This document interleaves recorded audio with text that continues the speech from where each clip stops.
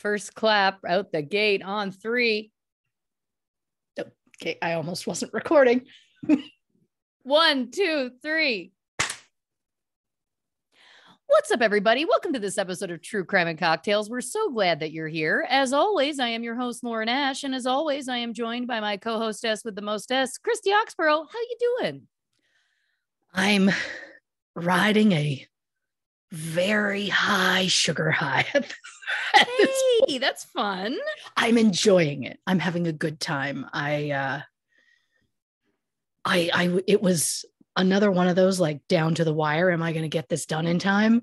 And the sugar said, "You bet your ass you can." And I ended up finishing then like earlier than I thought, and then was in that awkward space of like, well, I've got like half an like I have enough time. It's just pointless to sit there and do nothing, but I have not enough time to really get into something deep. So I'm like, so what am I going to do? I guess the answer is take my kid to football practice. That's what I'm going to do. It's fine. It rained. It's Oh. the season. It's what you do. Do they practice in the rain? Yes. Ah, As long as there's not lightning, it's fair game. Oh God, that sounds Yeah. terrible. Usually with the younger ones, they will like cut practice early or something if it's like pouring and it rained like all day and then beautiful bright blue sky, birds chirping. And I was like, let's get in the car. This is great. And as we were a block away, gray cloud rained down. And I was like, he's in shorts. I didn't bring him a coat. I, I just bought an umbrella. It's at home. This is not ideal. And Yeah. so I made him get changed in the car because usually you change out the shoes and stuff outside. But I was like, no, we're doing it in the car. And then it just went to like barely raining and we started. So it wasn't bad. But yeah, if there's lightning, you have to leave the field for 15 minutes until you haven't seen more lightning. Then you can come back out. Oh, because lightning's on a timer.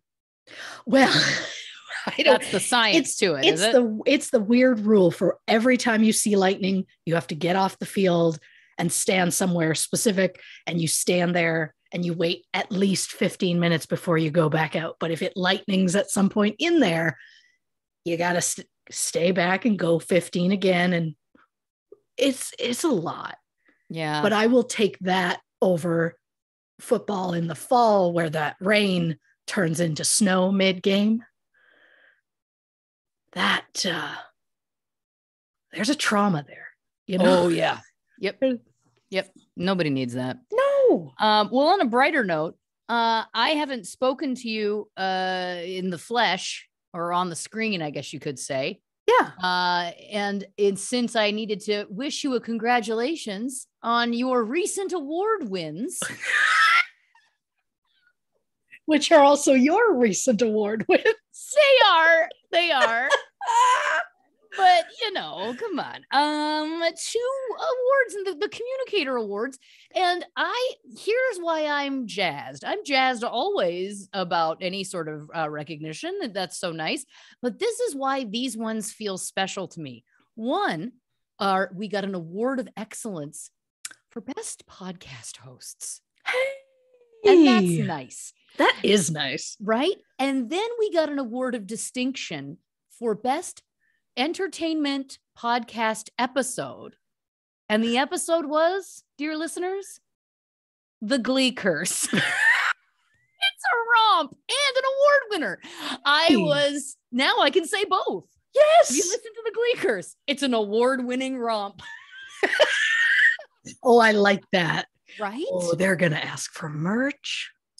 Yeah, yeah, yeah. That's probably going to happen. But you know, I think it's very special because to me, when anyone ever asks me about like what's an episode of the show that you think best encapsulates what you do, I say, I jokes aside, I do say the Glee Curse because we have. If you haven't listened to it, what are you doing?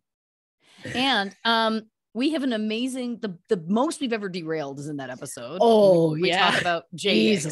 So, you get peak chuckleheads, but then also Christy compiled that episode herself. It isn't like she there was like a documentary about the Glee curse that then we covered on the show. Sure. She created the documentary herself. That was what the podcast episode was. So to me, it's just like peak research, peak chuckleheads. What more do you want? And now, well, I'll tell you, eh, not a lot because it, has been uh, recognized with a nice award. So there you go.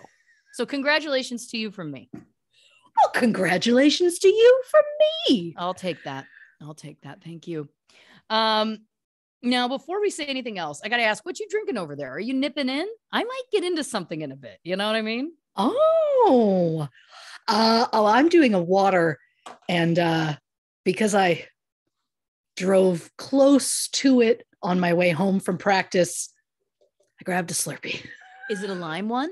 It is. You're really on a lime kick these days. I am, and it's the reason is I am usually a very like, oh, okay, yeah, whatever kind of a person. When it comes to Slurpees, I'm like, that not good enough. I am so specific. And if the Pepsi one isn't thick enough, if it's too runny, then I'm like not interested. The lime can be a little bit runny and it's still okay, but the Pepsi does not hold up if it's not. And there is one, we have two locations in town.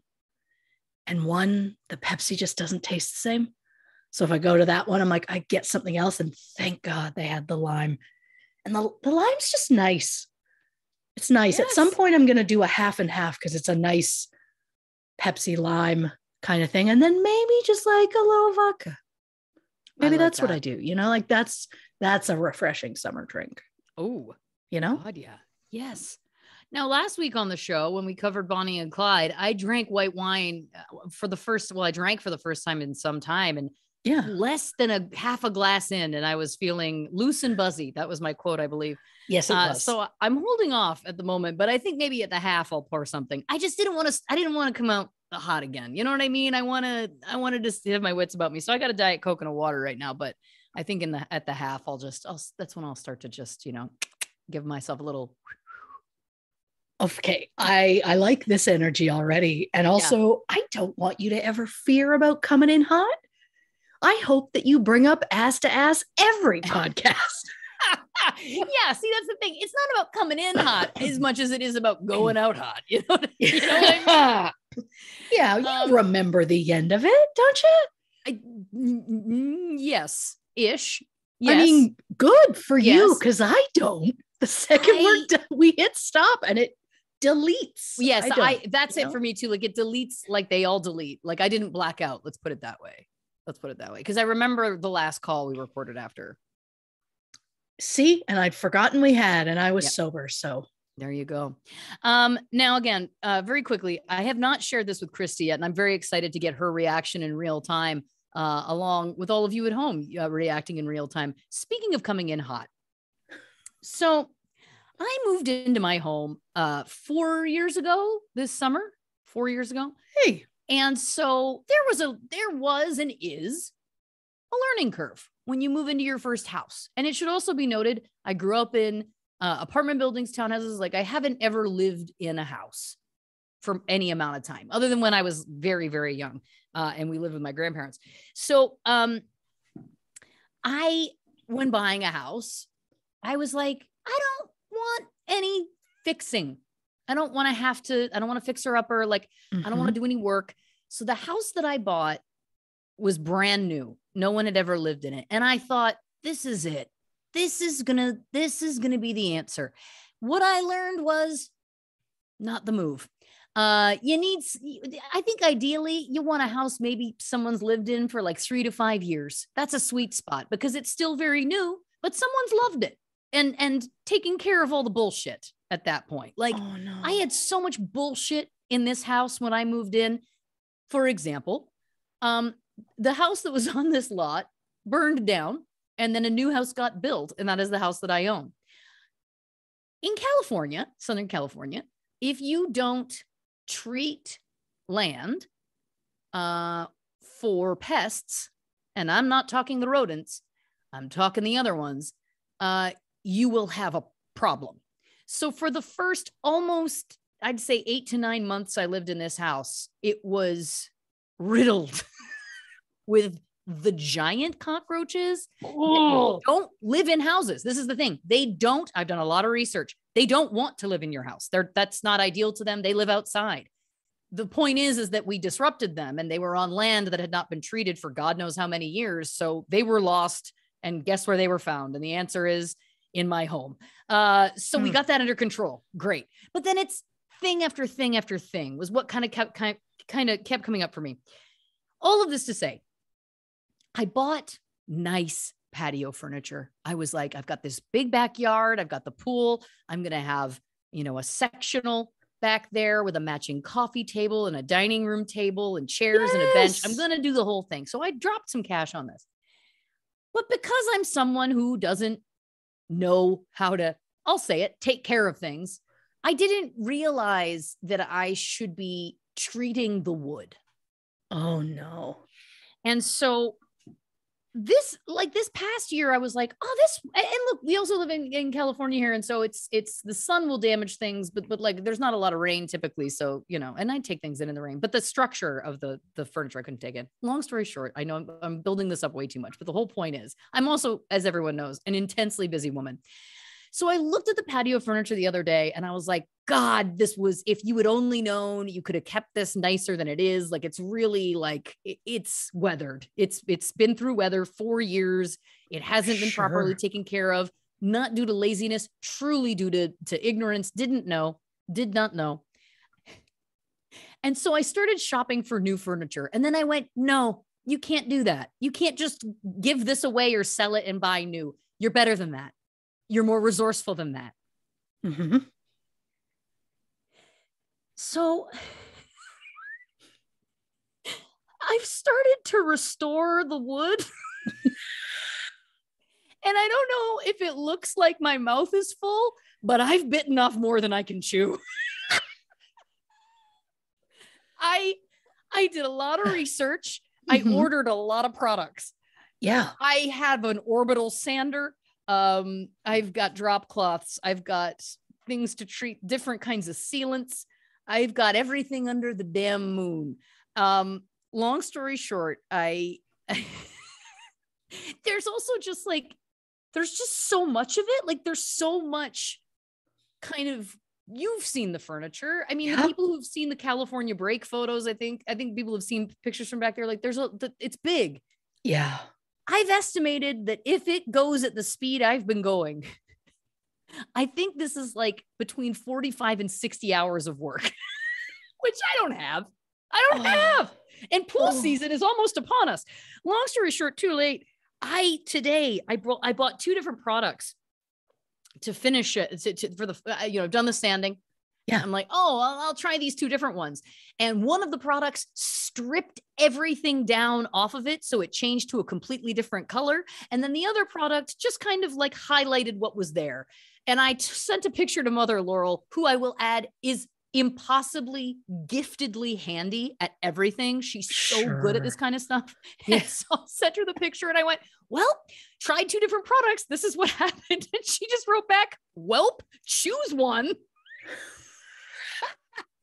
She's right. She's Yeah. right. And, and then I just said, well, I don't really like either. I kind of thought maybe it would be glossier and it doesn't really look glossy. And how many coats do I have to do for it to be glossy? How thick do the coats need to be? Maybe I could just sand it again and prime it and then paint all of it. Prime it and paint all of it. Oh. Um, I shouldn't be left alone with my thoughts, is the point. This is a project that I don't have time for, Yeah. bandwidth for, physical energy for, but we're in it now. So, guess what? Buckle in. You'll get a weekly update. What did you do this week? Answer nothing or one chair leg. Oh boy.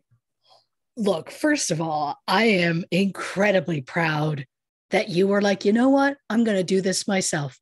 Uh, second, couldn't be happier that you chose to get a sander and aren't like sanding it just by hand. Like I assume it's a sander that turns on. Oh, yeah. Well, thank God that's that's your next bet. I was also gonna say, oh God, when do I tell her there's different grits of sandpaper? Oh yeah. Here's here's where I am about that. So the sander came in the mail before the sandpaper discs arrived. Sure. But good news, the sander had a disc, just a single one that came with it. So I was like, well, great, I can try this out. And it worked great. But nowhere on the box, the instructions, or the sandpaper disc does it say what the grit was. I, it- I don't know. So now I'm like, like a, am I gonna have to read this like braille? Like, am I gonna have to try and compare it to other sandpapers? Like, I, I don't know. And I've also been using it, so it's also not gonna be as sandy as it would normally be. Remember when you talked about jackhammering and I said you don't need to do this yourself, hire somebody? Where were my own words? True. But I say we. I don't mean me. I mean uh my husband and my oldest son. We jackhammered You did, and you did a great job. and it's was- gone. and now we have nothing but grass back there. And what a delight. And to be honest with you, I think that's what inspired me to, that I thought I could do this because I was such a naysayer when you started that project, and then I was I was wrong. I was like, wow, they they did it, and they they did a great job, and maybe I should take a page from that book. The, Well, I steered you the wrong way. but you also had other people. Oh God, I'm, Yeah. Gonna end up. Yeah, I feel like I'm gonna get this half done, and then I'm just gonna have to pay someone to do the rest. Here's the other thing: I used that sander. I timed it um because I wanted to see how long it would take to do the top of the coffee table out there. For example, Sure. took me 15 minutes. Great. Um, I didn't regain feeling in my thumb for about four hours. Mhm. it's a Yeah. it's it's powerful that thing. Yeah. yeah and it's a it's a good quality sander it's a it's a black and decker which is a which is a brand i trust I, what I I like hearing any brand that you trust in tools when I, I I didn't know if you ever used any. I couldn't be prouder of what you're doing right now. And look, I get the idea of like buy a house brand new cuz then you come in and it's fresh and you know it's fine. I I have uh, twice moved to different houses as an adult. As a kid, it's a whole other experience where the adults are dealing with all the bullshit that you don't know about, and you're just pouting uh, about having to move. But as an adult, I moved in with my then boyfriend, now husband, and then we ended up having too many kids for the house, so we moved again. Um, surprises there are surprises when you move into somebody else's home, like the simple thing of doing a quick walk through uh, with your realtor on the day you get possession, just to make sure everything's on the up and up. And you come in and, you know, they've changed light fixtures, which you know, you fully remember not having that light fixture. And it's not in the photos that were on the on the uh, realtor site that you came to see. So you know that once they took that, once you bought the house, they took it, which in that case, they're not supposed to. Like curtains and all that kind of shit is supposed to stay. Uh, and apparently, they had a very large mirror, like a very full length mirror that they had attached to their bedroom wall. It had sentimental value to them. Spoiler alert, I didn't want the mirror.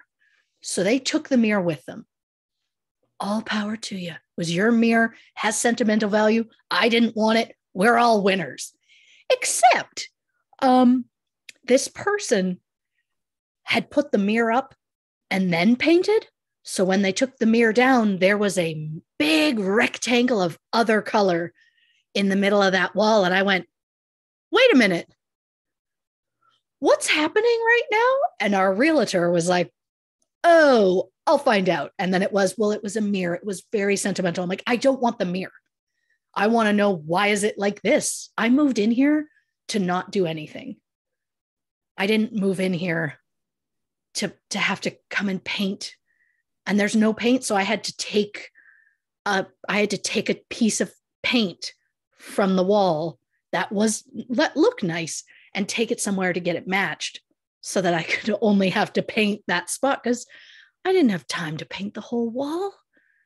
It worked and it looks fine, but it was a real fight, a real fight for that. The person they just kept coming back with, well, they want the mirror. I'm like, we don't.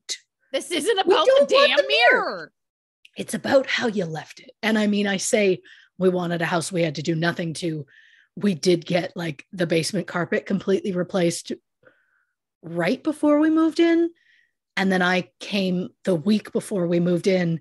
I came every night after I would like put the baby to sleep, leave the husband in charge of sleeping kids, drive across town. And I came here, opened windows, and painted all three kids' bedrooms because I told them I wanted moving to be a positive experience. So they each got to pick their own room paint color, except for the baby, because he was a baby. He didn't care. Uh, and so I uh, came here every night and painted three rooms and a section of wall in the master bedroom because, you know, that's how it goes. Um, also, the treasures that get left behind are sometimes not pleasant. Most of the time, they're fine. Like, I have a very distinct memory of moving into a house in Yorkton, Saskatchewan. And there's like a, a carpeted part in front of where a TV would go. And you open it up and you store wood in there because there's a fireplace to the side. And we opened it up and it was full of Sears wish books, which was like, I don't know why. I would have given anything to get into this house and find it full of Sears wish books because what a dream. Yeah. What a dream. It's not like that's when Christmas season starts. You know, like oh. when you're a kid and you walk in the door and you get the it came and you're like, okay, get my chocolate milk, get my highlighters. I'm ready to go. That's where it say. started. Oh God. Yeah. I was just gonna say. That's where it started. Yep. Yep. Well, well, she comes by it honestly. She does. Anyway, uh, stay tuned for more of uh, Lauren Ash's DIYs. It's uh, a mystery to me if it's gonna turn out at all. Um, what I've chosen to do in the meantime is I've ordered all new covers for all the cushions, a new hey. rug, uh, to add some some throw cushions. You know, jazz it up out there. That'll freshen sure. it up. Even if I don't succeed on, uh, you know, refinishing all the wood, and then I've gotten covers to put over the furniture in the the downtimes. Hey, so that's something, right? I've done something. I've done something. If I don't you've, succeed, you've learned. See, you've already learned. Yeah. And now that the coffee table is two different colors because of the two different products, I guess I could I guess I could prime and paint that and then just refinish all the rest of it. It's going to be a bad move for me to do that. I'm guessing. I don't know if you have Yeah, any, I, I don't know if you have any experience painting eucalyptus. Why is I don't know. I Are you a know. koala bear? I, I wish. I wish. Well, then I'd be eating it. Anyway, again, stay tuned, dear listeners, because it's gonna be talking about a romp. This won't be one, but you know, oh. what a gift. Um, today's episode, we're talking about Kristen Modafferi. Modafferi. Uh, this is their our apron apron. Not a drop of liquor in me. You're doing April, great patrons poll pick. Uh, for those who don't know, we're on Patreon, patreon.com slash true crime and cocktails, where there are bonus episodes, live monthly Q&As. And if you are a patron every month, you can vote on an episode that we will cover on this feed of the show. And this was our April winner. So I will give you some backstory about the case and we're going to get into it. So in June 1997, 18 year old Kristen Modafferi was living on her own for the first time. After finishing her freshman year of university, Kristen moved out to San Francisco to gain new experiences and take some summer classes. But the day before her classes were set to begin, Kristen went missing. And due to Kristen's oblivious roommates, police didn't start investigating the case until a week after Kristen's disappearance. So, what happened to Kristen Modafferi? Did she just decide to abandon her life and start over somewhere else? Did she unknowingly respond to a personal ad placed by a psychopath? Or did she happen to cross paths with a famous killer? Christy Oxborrow investigates. I uh, love how fast and loose I'm playing it with the word psychopath. I stand by it.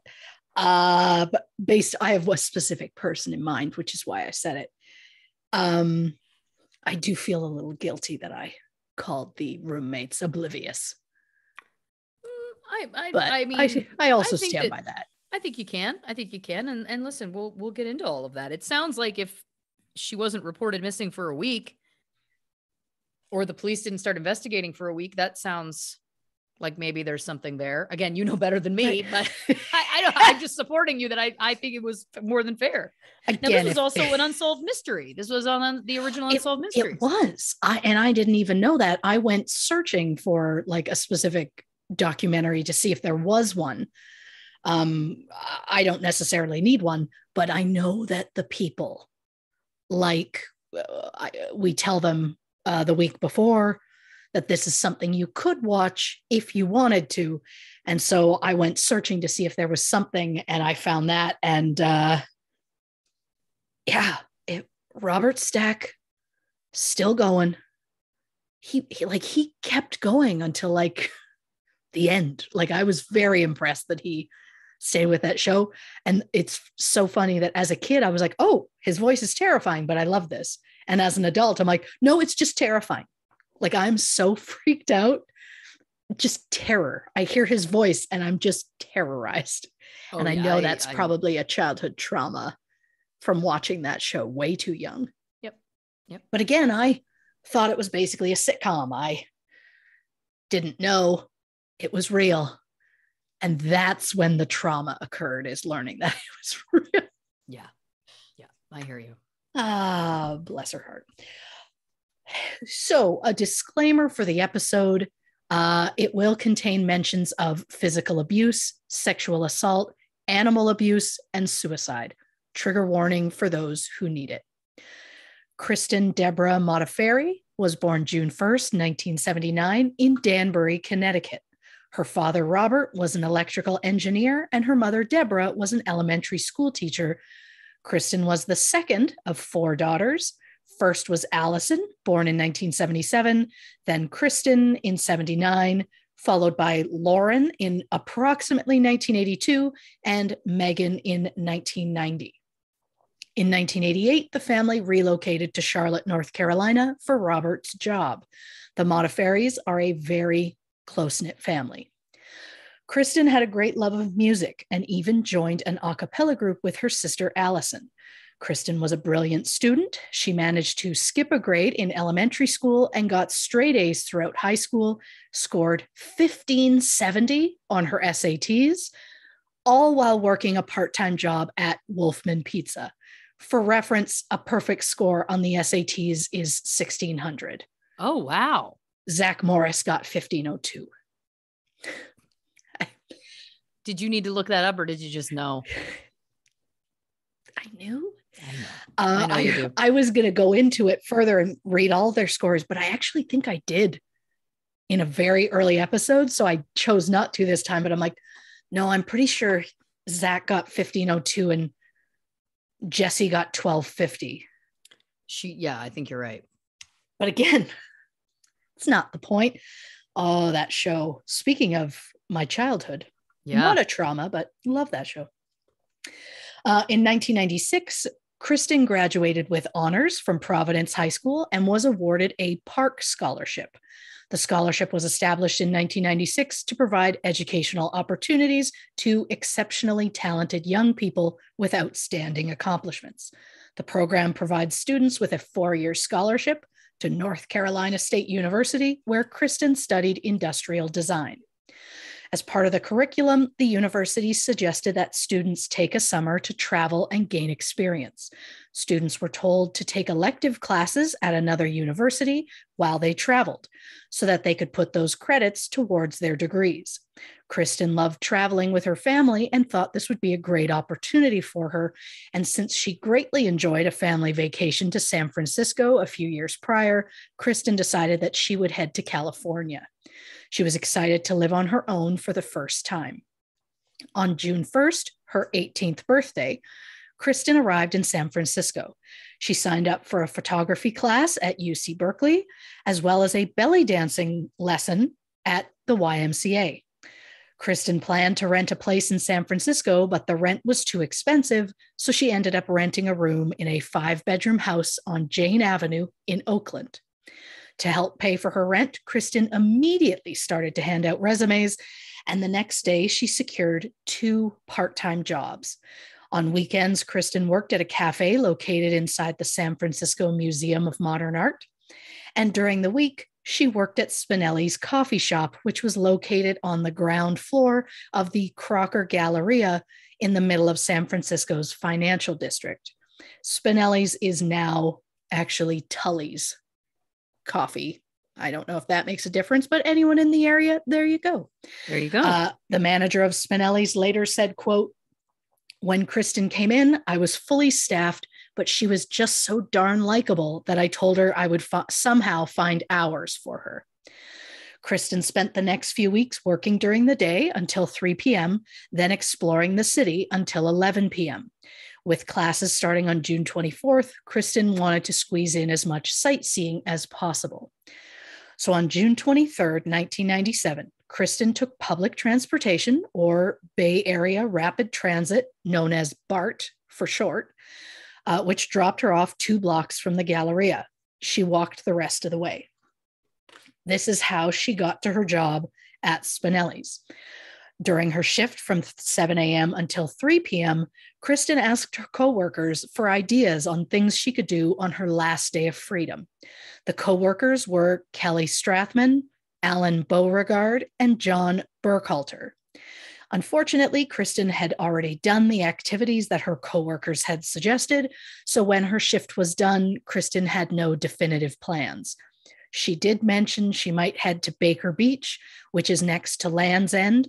It was a place she had been just like two, three days prior. Uh, it's a popular tourist spot, and Kristen had suggested uh, she might head there to take pictures, saying, quote, maybe I'll check it out again. A coworker gave Kristen directions on how to get to the beach using the BART or just BART. I don't know if it's the BART. Either way, uh, they claimed that Kristen might have headed to a party there, uh, but police were not able to confirm whether a party actually took place that night or not. Less than an hour later, some of Kristen's coworkers happened to be looking into the Galleria when they noticed Kristen on the second floor of the Galleria at 3:45 p.m. She was walking shoulder to shoulder with a blonde woman that the coworkers did not recognize. The only description of the woman was that she was blonde and carrying a green backpack. So, was Kristen with the blonde woman, or were they simply walking near each other in a crowded mall? Either way, despite many pleas to the public, the blonde woman has never been identified and has never come forward.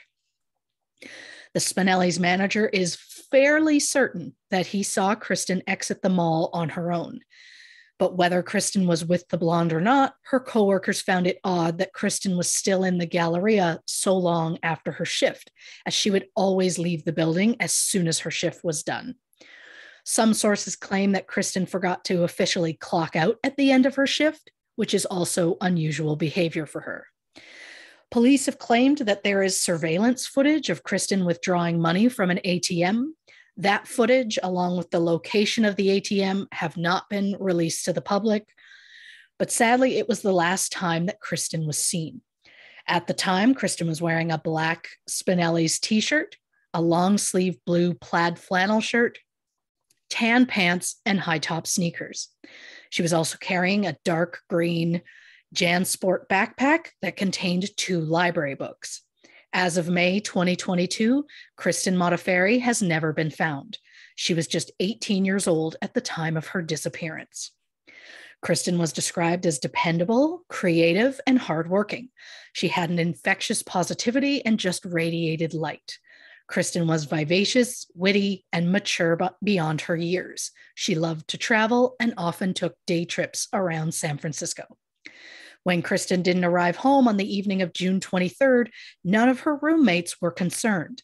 According to them, Kristen had been gone overnight at least once before, so they just assumed she was staying with a friend. The following day, Kristen didn't show up to her first day of classes at UC Berkeley. While living in California, Kristen called her parents regularly. She had told them she was having a great time and that she'd made some friends and had done a lot of sightseeing. Kristen's father, Robert, tried to call her on June 24th, but got no answer. But he assumed that she was busy with her first day of classes. He called again on June 25th and left a message with one of Kristen's roommates. When there was still no sign of Kristen on the morning of June 26th, Kristen's roommates got concerned. They spoke with some of her Spinelli's coworkers who said that Kristen had missed a shift. They realized that no one had heard from Kristen in more than 48 hours. So one of the roommates contacted Kristen's parents, who called their local police to report her missing. Robert and Deborah Modafferi flew to San Francisco on Friday, June 27th, where they reported Kristen missing to the Oakland Police Department. And for some reason, the police didn't start investigating Kristen's disappearance until Monday, June 30th, a full week after uh, Kristen had last been seen. Huh.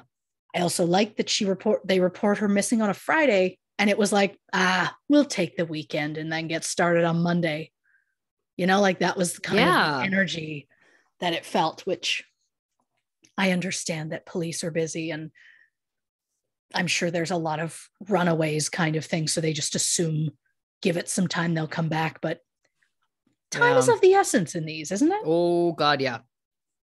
So police took bloodhounds to the crocker galleria where the dogs tracked kristen's scent to the bus stop just outside the mall the dogs also tracked Kristen's scent at the end of the bus route at Sutro Heights Park, which is where Land's End is located. The dogs picked up Kristen's scent at Ocean Beach, which is a popular spot for tourists because of its panoramic view. From Ocean Beach, the bloodhounds were able to track Kristen's scent to a restaurant called the Cliff House, which has a viewing deck where tourists often watch sea lions. Her scent was then tra- traced down a path through the saltwater public swimming complex called the Sutro Baths, but it was lost along the beach. Dozens of police officers and National Park Service rangers searched the beach areas, but there was no sign of Kristen or the dark green backpack that she was last seen carrying. Police spoke with people along the beach, and no one in the area recalled seeing a girl matching Kristen's description. But my question did the bloodhounds pick up Kristen's scent from the night she went missing, or was it her scent from two days prior when she was there for the first time? When Kristen's room was searched, police found a Bay Guardian, Bay Guardian newspaper in Kristen's trash can. In it, a personal ad had been circled, which read Friends, female seeking friends to share activities, who enjoy music, photography, working out, walks, coffee, or simply the beach, exploring the Bay Area. Interested? Call me. But the police didn't consider this a potential lead until months later, and by then, the Bay Guardian had upgraded to a new computer system and had purged their backlog. There was Ugh. no way to tell who posted the ad, and the phone number was no longer in service. During the week of June 11th, when the ad ran in the paper, the Bay Guardian was doing a special promotion where ads could be taken out for free. So the author of the ad will never be found. At first, police wondered if Kristen had written the ad herself. But to me, if you place an ad in a newspaper, are you really going to circle your own ad? And if you do, then why turn around and throw it out? Well, and also, wouldn't they know that the phone number would be hers? Like, You why would would why would she post it with a fake phone number? I don't know. That's the thing. I don't get how they were so quick to like, oh, well, it could have been her. I'm like, really? Why? That's that doesn't make any sense to me at all. Yeah, I don't get it. Uh, while a lot of activities listed in the ad were similar to Kristen's interests, I highly doubt she wrote the ad herself. Is it possible she considered responding to the ad? Of course, but we have no way of knowing whether or not she actually did. And if Kristen did respond, did that lead to her disappearance? And what about the blonde woman who Kristen was seen with at the Galleria on the day of her disappearance? Was that woman somehow connected to the ad? With no solid leads, everyone involved in the case knew they needed to keep Kristen's name and face in the public eye. Kristen's fellow Park scholars at North Carolina State University hung yellow ribbons and missing posters around the campus and the entire city of Charlotte. In January 1998, the students came up with a plan to get Kristen's case talked about on live television. ESPN was filming a basketball game at the university, so they handed out yellow ribbons to everyone in the crowd. The players were prevented from wearing ribbons due to NCAA rules, but the coach, the head coach on both teams wore a ribbon. So many fans watching at home called ESPN to ask about the ribbons that the announcers actually ended up talking about Kristen's case on the live broadcast. So kudos to them for the plan and kudos for it working. Uh, with the Modafferi family in San Francisco, they handed out flyers uh, about Kristen all over the Bay Area. They traveled to San Francisco six times in the first year to walk the city and hand out flyers. The whole family went, including the youngest daughter, Megan, who was only seven years old at the time. Robert and Deborah Modafferi uh, did interviews with numerous news stations and even appeared on the Maury Povich show. Kristen's disappearance was also featured in season 11 of the original Unsolved Mysteries. An anonymous donor donated 20 billboards around the San Francisco area that the family used to post photos of Kristen and a plea to the public for any information. And it wasn't just people who knew Kristen who were trying to help. Dennis Mann, who lived in South Carolina, heard about Kristen's case on the news, but he later said he didn't think much of it because he assumed Kristen would be qu- found quickly. When months went by with no news about Kristen, Dennis felt compelled to help in any way that he could. So he looked up the Modafferi family in the phone book and went to their house with an offer to help with the search. Robert and Deborah were skeptical at first, but eventually gave their blessing for Dennis to officially assert, officially assist in the search. Dennis flew to San Francisco and spent weeks standing on street corners handing out flyers. He was inter- he interviewed dozens of people related to the case and has followed leads to Hawaii and Thailand.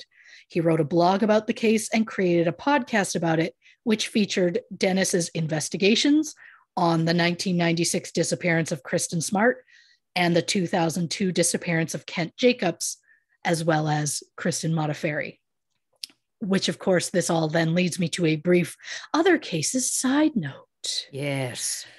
You know, I can't just mention two names and leave it there. So, very briefly, 19 year old Kristen Denise Smart was found passed out on a lawn at 2 a.m. after a friend's birthday party on May 25th, 1996.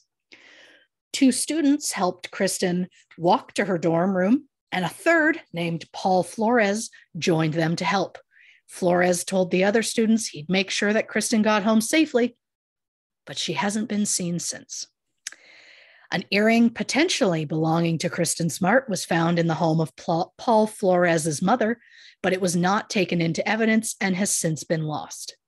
According to police, Paul Flores allegedly sexually assaulted two intoxicated women in 2011 and 2017.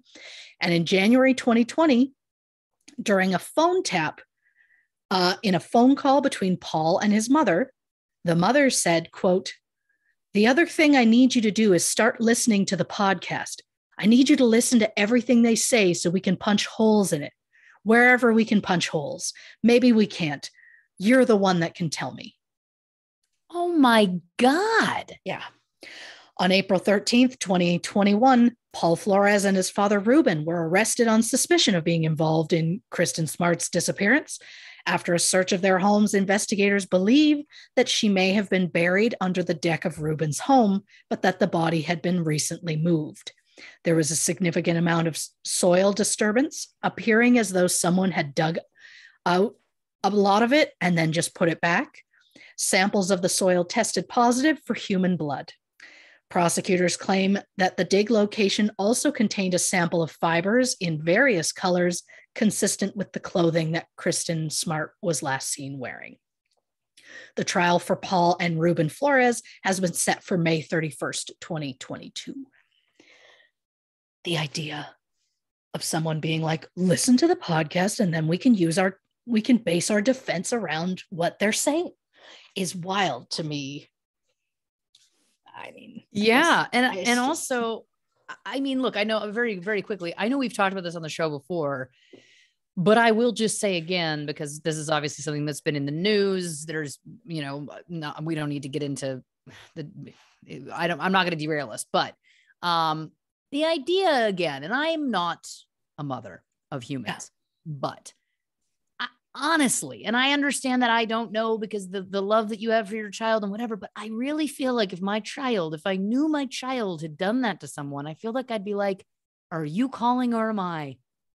Like I, I just don't think it's a you gotta take it, you gotta take the heat, man. Like I don't think that I could forgive myself knowing the other person's Right? got, got like lost their child. Like I, I don't know. Like, and again, I know it's very easy for me to say because I don't have a child, but I know we've touched on this before, and I just think it's very interesting. Um, well, we touched on it last week. I mean, Bonnie and Clyde. Clyde's mother was like, "I will literally do anything to, uh, you know, protect my child or whatever." Yeah. Um, but this just feels, I don't know why. I think because that was a different time. This, where it's like, listen to the podcast, let's make it, let's get our story straight, just feels so dark to me. yes. I don't know. And then what's it say about me that I was like, what podcast? Yeah. We haven't covered it. Obviously, it's not It's ours, not. Christy. Not us. That's okay. That's Oh, okay. But how disturbing just to be like, okay, let's hear what their theories are and let's prove, let's try and figure out a way that it proves they're wrong. I don't love it. I No, don't love that as a concept at all. No, it's terrifying. I've given way too many reasons of why people can do the things they do. I don't need them to use that in court. It's gross. I don't. I don't It's care for it. Yep. Yep. Uh, the second case that I mentioned uh, involves 41 year old Kent Jacobs, who went missing in Hope Mills, North Carolina on Sunday, March 10th, 2002. Kent, who had special needs, lived and worked in a group home during the week, but spent weekends living with his mother. Before church, Kent went for a walk near McDonald Road and Interstate 95, just two blocks from his mother's home, something he did often. Approximately 5 p.m., Kent was allegedly seen entering a small car next to the US uh, 301. He did not return home for his 6 p.m. curfew and hasn't been seen since. As of May 2022, Kent has never been found, and there have been no arrests made in connection with his case. When Dennis Mann was asked his reason for continuing to volunteer with the Kristen Modafferi case for over 20 years, Dennis said, quote, once you sit across the table from a mother of a missing child, I'm telling you, it changes you. The Modafferi family offered a reward for information about Kristen's disappearance. The reward, which started at $10,000, eventually increased to $50,000. And while it generated a lot of tips, none were ever developed into solid leads. By May 1998, the police were convinced that Kristen had been a victim of foul play, but they lacked any leads to take the investigation any further. So, with that in mind, I want to focus on potential theories as to what may have happened to Kristen Modafferi. There are five theories that I'm going to focus on. The first being the one that police considered immediately. As there were no signs of foul play, police wondered if Kristen disappeared voluntarily. And I know there are a lot of people, teenagers especially, who run away from home for various reasons. But Kristen was already living on her own, away from home. So this theory doesn't make sense to me. Not to mention the fact that Kristen paid $925 for tuition at UC Berkeley, with class meant to start the day after she disappeared. Why pay that kind of money if you're not going to at least attempt to go? Kristen also didn't pick up a $400 paycheck from Spinelli's. And if you're going to run, you need money. So why wouldn't she have at least picked up the paycheck? So I'm quick to say that this theory seems unlikely in this particular case. But this kind of theory is something that has happened before, which brings us to the case of Lucy Ann Johnson. Lucy Ann Carvel, Carvel uh, was born October 14th, 1935, in Skagway, Alaska. She married Marvin Johnson in 1954, and the couple had two children, Linda and Daniel. Lucy was last seen by a neighbor in Surrey, British Columbia in September 1961, but wasn't officially reported missing by her husband until May 1965. When Marvin admitted that Lucy had gone missing nearly four years before he reported it, police suspected foul play, and Marvin was suspected of Lucy's murder. Neighbors were questioned, Marvin was interrogated, and the Johnson family's yard was excavated. But no evidence was ever found, so Marvin was never charged. Marvin eventually remarried and died from natural causes in 1990. Cut to June 2013, nearly 52 years since Lucy's disappearance. The RCMP decide to highlight Lucy's case in their Missing of the Month series. This inspired Lucy's daughter Linda to do investigating on her own. And she learned her mother had briefly lived in the Yukon before moving to Surrey and marrying Marvin. So in July 2013, Linda placed an ad in a newspaper called Yukon News asking for people with any knowledge of Lucy to reach out. Linda got a reply from a woman in Whitehorse, Yukon, who claimed that Lucy was her mother. It turns out that Marvin had been physically abusive for years, and Lucy hit her breaking point. She tried to take the children with her, but Marvin wouldn't allow it. So Lucy left on her own. She eventually remarried and had four more children. And the most shocking part for Linda was that Lucy was still alive. Linda and her mother were reunited more than 52 years after Lucy went missing. Wow. And one more, because this one was wild. And once I found out, I was like, oh, I've got to tell the people. It's what I do. Lawrence Joseph Bader was born December 2nd, 1926, in Akron, Ohio. Lawrence was a cookware salesman for the Reynolds Metals Corporation and was married to a woman named Mary Lou, with whom he had three children, with one more on the way. On March 15, 1957, Lawrence rented a 14 foot boat for a fishing trip on Lake Erie. A storm moved through the area and the boat was found abandoned the following day. The Coast Guard searched and said the lake got so rough during the storm that no man could have survived overboard. Four days later, a well dressed man named John Johnson, better known as Fritz, showed up in Omaha, Nebraska at Round Table Bar. Soon after he arrived, for some reason, Fritz sat on a flagpole for 30 days to raise money for polio research. Okay. I have no idea how that even came about, but it made the locals very fond of Fritz which led to him becoming a bartender, which led to him becoming a radio announcer and then a TV sports director at KETV 7. He told vivid stories about growing up in, Bo- in a Boston orphanage and his 13 years spent in the US Navy. Fritz also had a very colorful personality. He drove a hearse that he named his hunting vehicle, as it had pillows an incense burner, and a bar in the back. Okay. Fritz married a 20 year old single mother in 1961 and adopted her daughter. Soon after, the couple welcomed a son. In 1964, Fritz lost his left eye to a cancerous tumor and had to start wearing an eye patch. On February 2nd, 1965, Fritz was demonstrating archery equipment at a sporting goods show in Chicago when a man approached him and said, you look familiar. Despite the eye patch and the fact that Fritz had a mustache, the man was adamant that Fritz was really Lawrence Bader.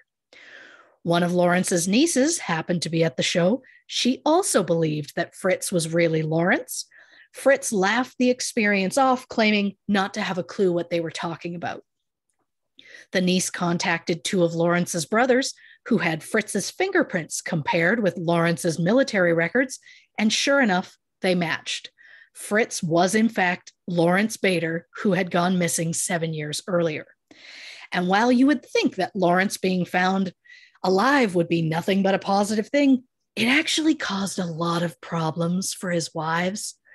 Uh, his first wife, Mary Lou, had been receiving monthly Social Security payments as well as nearly $40,000 from her husband's life insurance.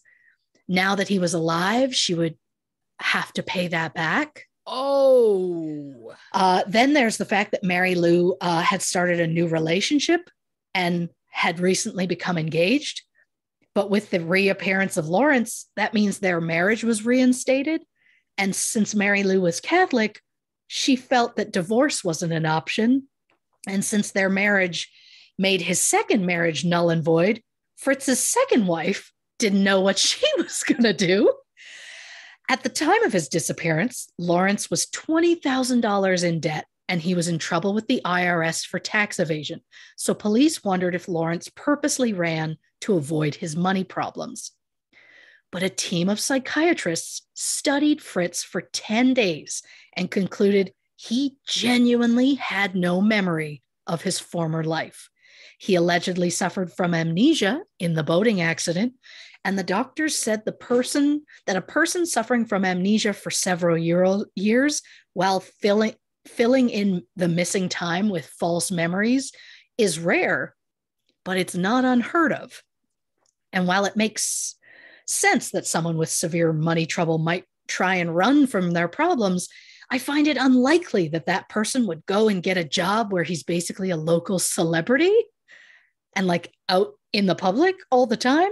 Yeah. If you're if you're running from one life to another, would you really keep yourself in the public eye? Or well, maybe it's the situation of hiding in plain sight. Or you're a crazy narcissist. that is an, that is a great point. Uh, some have even debated as to whether the tumor may have played a role in Lawrence's memory loss. His cancer returned this time in his liver, and Lawrence, also known as Fritz, died on September 16th, 1966, at the age of 39. So, not a lot of answers that came from that, I yeah. guess, but I just find that wild. Again, I don't believe that either of these scenarios is what happened to Kristen Modafferi. I offer them as examples to show cases where this particular theory is valid. Yeah. It's what I do. So, theory number two is that Kristen may have suffered a terrible accident.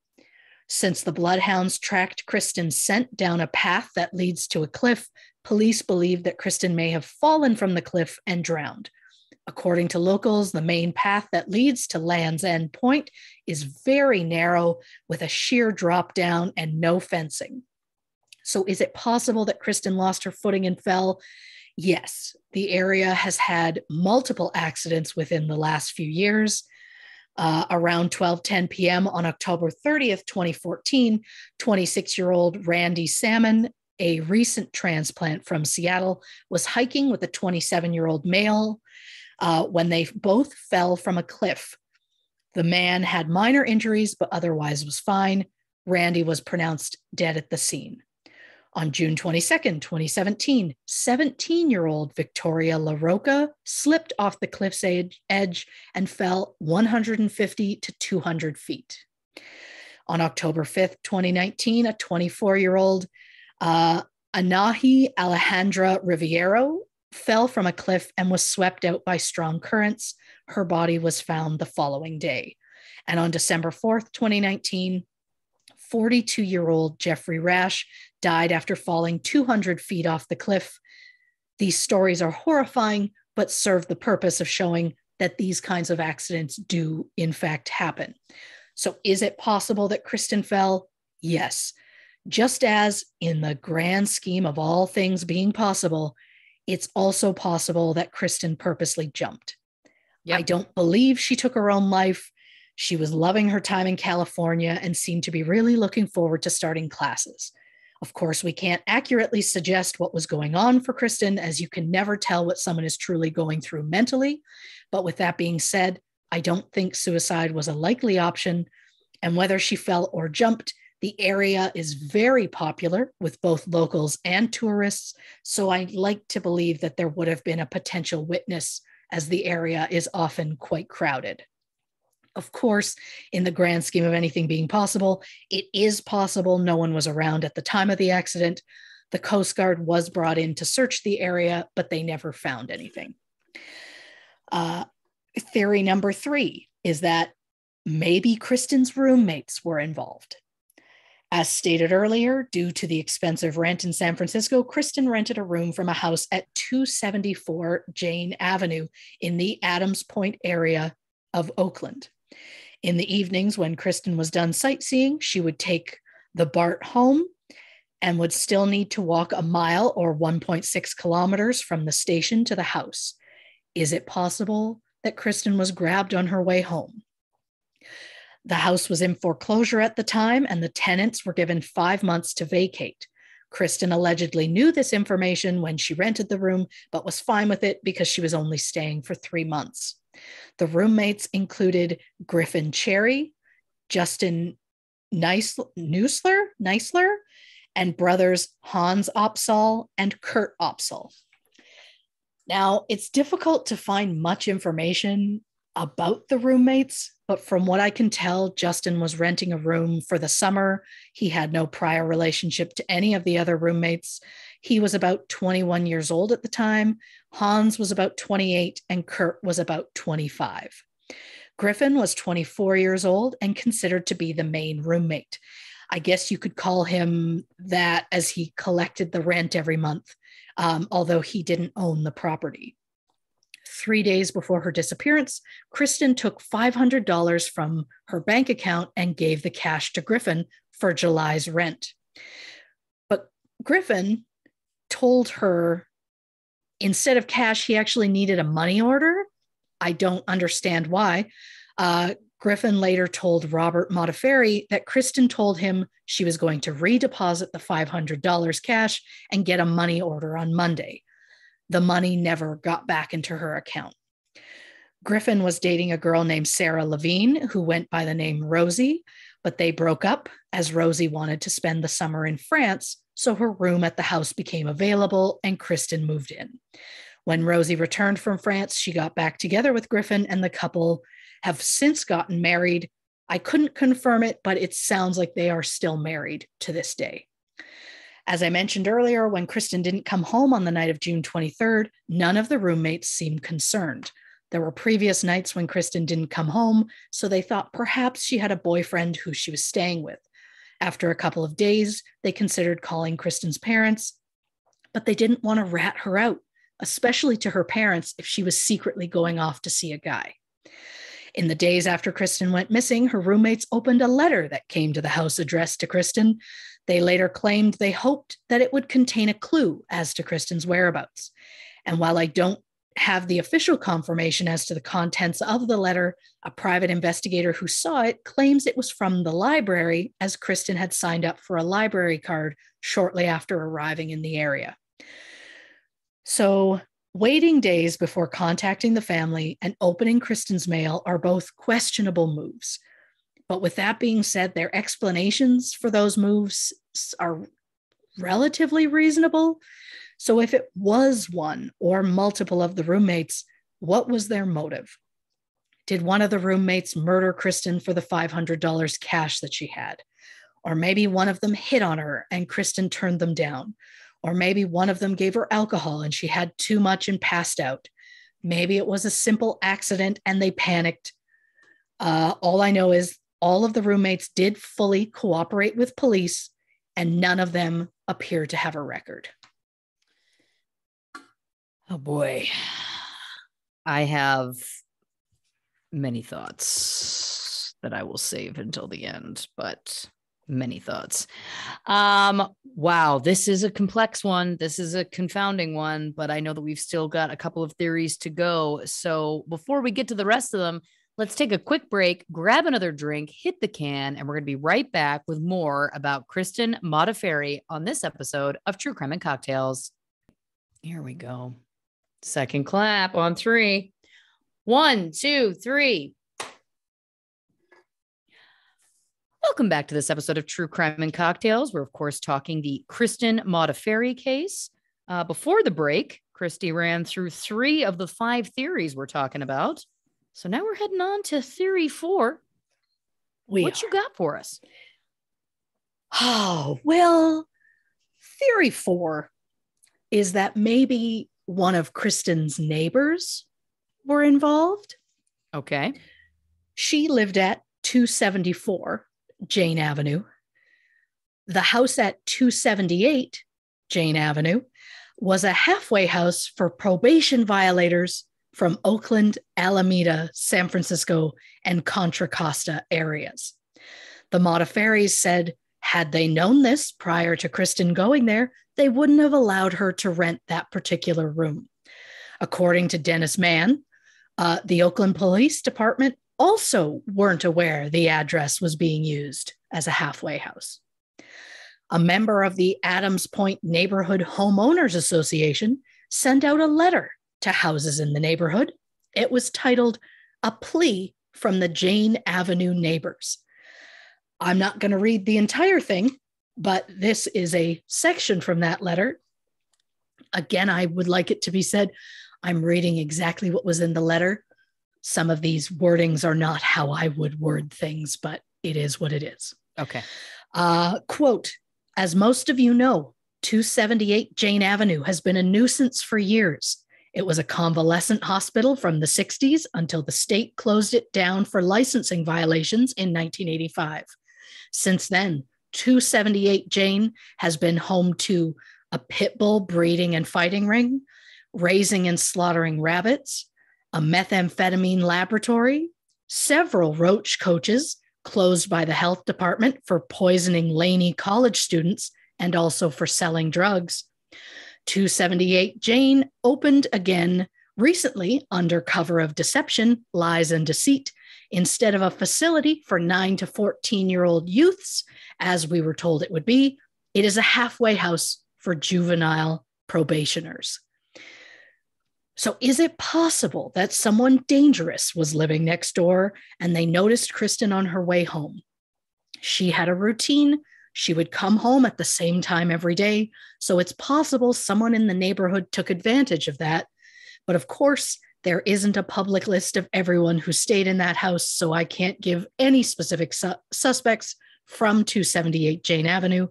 It is also completely possible uh, the person from the Homeowners Association overreacted as to who was living there. Maybe the house was a little run down. So they were like, well, obviously there's a pit bull fighting ring in there. Who knows? I don't know if they knew that specifically or not. I'm also realizing I cut out uh, the section from that letter that used some very choice words that I don't use, which is reading it reading it out loud. I was like, oh, I guess I cut that stuff out. Oh well, Yeah. well, doesn't matter. For the, the point is, I don't know if they were overreacting or if this was a potential threat. So that is why it is out there in my theories. Right. Now, this one, this this particular theory, and I know people are going to be like, "Why are we at the final theory already? It's too early." We got time. This is gonna. This one's gonna take a bit, and it goes on multiple tangents. So great. just buckle up and try and stay with. Uh, theory number five is that Kristen might have been abducted by someone, whether she was outright grabbed off the street or possibly lured to a vehicle or a location. Kristen was described by her family as very trusting. According to some of her coworkers, Kristen would often accept rides from strangers when exploring the city. Oh boy. Then there was an incident one night after a concert. Kristen missed the last train to Oakland, so she decided to spend the night on a bench at the train station. A man that Kristen met at the concert saw her, told her that's incredibly dangerous, and offered to let her sleep on the couch at, her, at his brother's house. Kristen accepted. No. After Kristen's disappearance, police were able to track that man down. He was eliminated as a suspect. But that What about also his ex- brother. That also explains why uh, the roommates were like, well, there were nights where she didn't come home. And it's like, well, there's one right there. Yeah. So it's just, I'm in no way sh- blaming in any Of way course. for that. She was 18. At 18, you don't think horrible things like we think now about strangers and all of that. She's she was a kind person. You always hope everybody else is going to be kind. you do stuff when you're young that you wouldn't do Of now, course. so Of course. I'm I'm, I'm- always shocked that I'm still alive. Don't Oh, get me yeah. wrong. I, I have no judgment. It's more just that I'm cringing Yes. because I want to be protective. That's all. of course i'm just say, saying for uh the people i'm not shaming the choice i'm just bringing the choice up as a if that was possible could she have gotten into a car with the wrong person kind of a situation? 100% i think it's important Um, to bring up if we know she had yes. a pattern of getting into strangers people's strange people's cars which you're i think that's yeah you have to bring that up. Absolutely. Oh yeah. And also again not shaming. Yeah. just saying she was a kid. Oh god yeah. She'd never lived on her own before so the world was her oyster. She was going to do anything. I get it. Mhm. Oh my God, if I moved out when I was 18, oh boy, I can't even. i did move out when i was 18 but i was terrified of everything so i was, I Oh, was there it the is. other way i was the other way Yeah, I, I mean, I guess I moved out at, I was 19 when I moved Yeah. out. And yeah, that was, it was like, oh God, well, I guess we can drink at noon. Like, you know, like it was, it was, it was not That's great. your, it's like your college years that's all it's just like Yes, there we go. There we go. So the question remains if Kristen was abducted, who was involved? What about the blonde woman seen with Kristen at the Galleria? Was she used by someone to lure Kristen into a trap? Or maybe the blonde woman isn't involved in any way. I just think if she wasn't involved, that she would have come forward by now. Maybe it's possible that Kristen and the blonde woman were both abducted. But again, by who? yeah Well, there is the possibility uh, that the assailant is currently unknown to the police, possibly someone who hasn't been on their radar yet, or someone who is later arrested for another unconnected crime. But since a list of unknown suspects would be incredibly long and not to mention incredibly difficult to create, uh, as it could be anyone that was in the San Francisco area at the time, we're going to focus on specific individuals who may have been involved. First on that list is Robert Durst, who I'm sure our dear listeners know from the true crime documentary, The Jinx. And for those of you familiar with this case, you know I could go on about that sleazebag for hours. So, for the sake of today's episode, I'm going to attempt to give the Cliff Notes version of Durst's alleged crimes. So, Robert Durst was from a prominent real estate family in Manhattan. In the fall of 1971, 28 year old Durst meets 19 year old Kathleen McCormick. After two dates, Durst invites Kathleen to move to Vermont, where he owns a health food store. In 1973, Durst's father demands that he rejoin the family mis- business and move back to New York. So Durst and Kathleen move to New York and get married. According to Vulture, by 1980, Kathleen is openly disappointed in her marriage and admits to friends and family that Durst is becoming abusive and controlling and that he forced her to have an abortion. Kathleen considers a divorce, but instead starts an affair. Around the same time, Durst starts an affair with Prudence Farrow, who was apparently the inspiration behind the Beatles song Dear Prudence.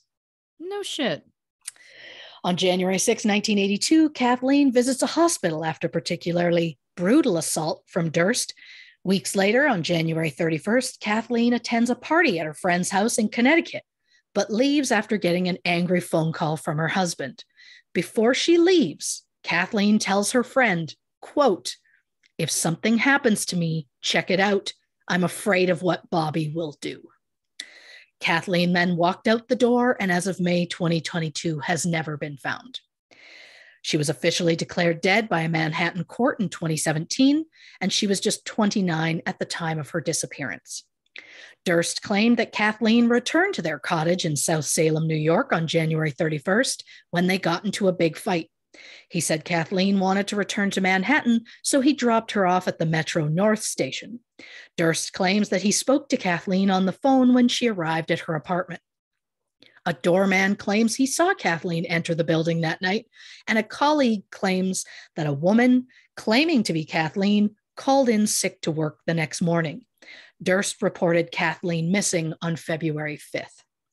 A few months go by, and Kathleen's friends go to check her house. They find Kathleen's mail, which is unopened, all thrown in the trash.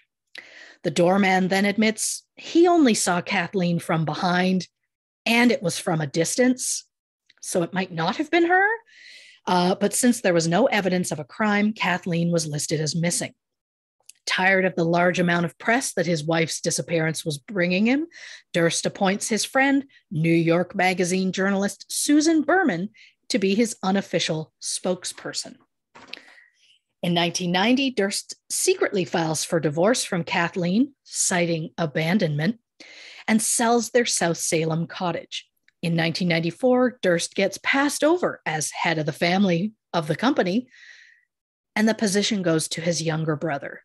According to Vulture, Durst had a nasty habit of peeing in his uncle's trash can, which caused the family to overlook Durst when it came to finding a new head of the company. So Durst gets mad and kind of breaks away from his family and spends the next six years traveling the country. In 1999, police receive a tip about the location of Kathleen's body, which causes investigators to reopen Kathleen's case, but this time as a homicide. The Durst's old cottage was searched, as was a nearby lake, but nothing was found.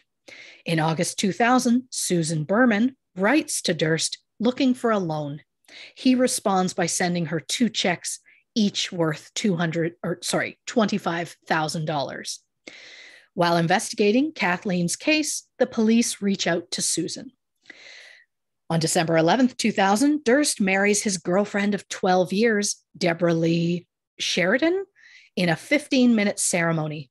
The rabbi later said that Durst, quote, didn't smile once.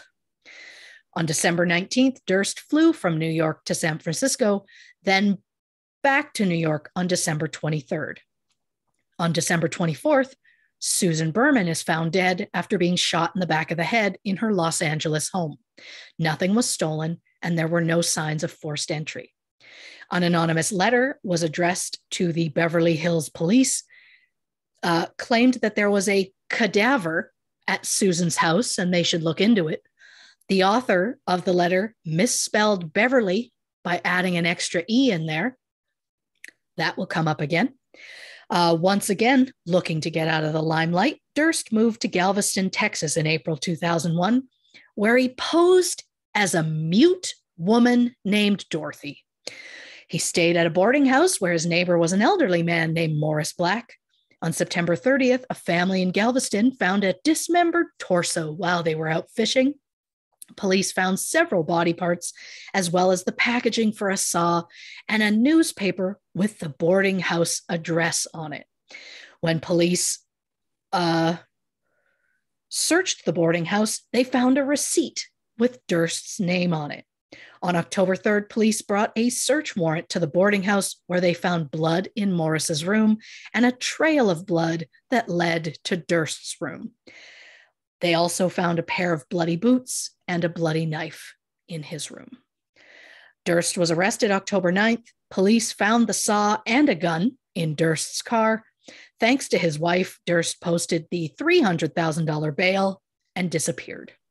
Nine days later, Durst rents a car in Mobile, and Mobile, Alabama, under the name Morris Black. Ugh.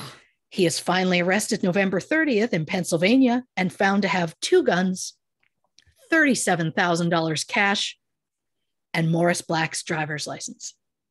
In September 2003, Durst goes on trial for the murder of Morris Black. Durst claims Morris threatened him with a gun, so Durst killed him in self defense. Durst then fully admits that he dismembered Morris. And somehow, even after that insane admission, Durst was found not guilty.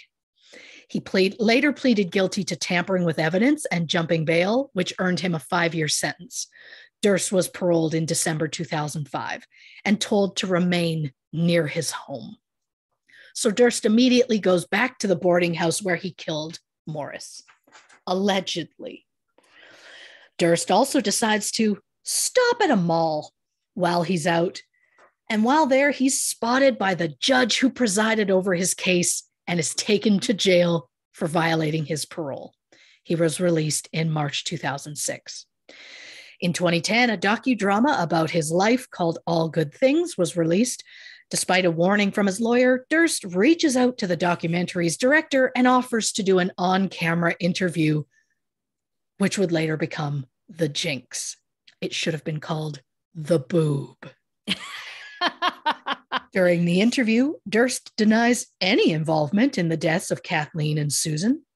At some point, the director discovers an envelope addressed to Susan from Durst, which matches the handwriting of the Beverly Hills letter that the police received notifying them of Susan's murder. It also had the same misspelling of the word Beverly. In 2012, the Jinx director interviewed Durst again, confronting him about the newly discovered envelope. Durst was unable to tell which of the two handwriting samples were his own. Afterwards, Durst is in the bathroom, not realizing his mic was still hot. He starts muttering to himself and says, quote, there it is, you're caught. What the hell did I do? Killed them all, of course. It should be noted the audio was edited for the documentary, so his wording was slightly different in the real recording, which was, quote, I don't know what's in the house. Oh, I want this. Killed them all, of course. I want to do something new. There's nothing new about that. What a disaster. He was right. I was wrong. And the burping. I'm having difficulty with the questions. What the hell did I do?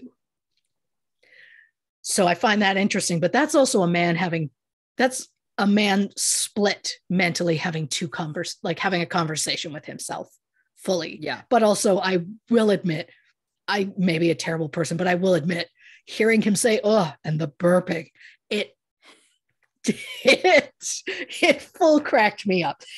I- He's a murderer, but it I want you to cracked me. know I've watched The Jinx probably Yeah. three times all the way through. I've watched every episode. I eh, when it first came like years ago. Yeah, I get it. It's he is fascinating to me. Psychologist hat fascinating of to me. Yeah, the burping that moment. Yeah, I mean, it's like this guy's a kook. He Oh, he- chose to live as a mute woman. There's so many layers to this. But anyway, Yeah. we'll, get, we'll get to it later. Yeah. I mean, again, he was right. I was wrong. And the burping. It was just the way he said the burping. I Again, know. look, you got to find joy where you find joy. And you do. And that, guy is a dink and a half. oh, this this person is ridiculous. Um, and yeah, I get that now's not the time for laughter, but the way he said the burping, It is also miraculous that he did when he when they when they were onto him. I haven't seen it in years, but if I remember correctly, he did have that physical response. Like his his lying tell was burping, which is fascinating. That it was so guttural. Like that's such a again a psychologist hat. That's amazing because there's so many tells when people lie.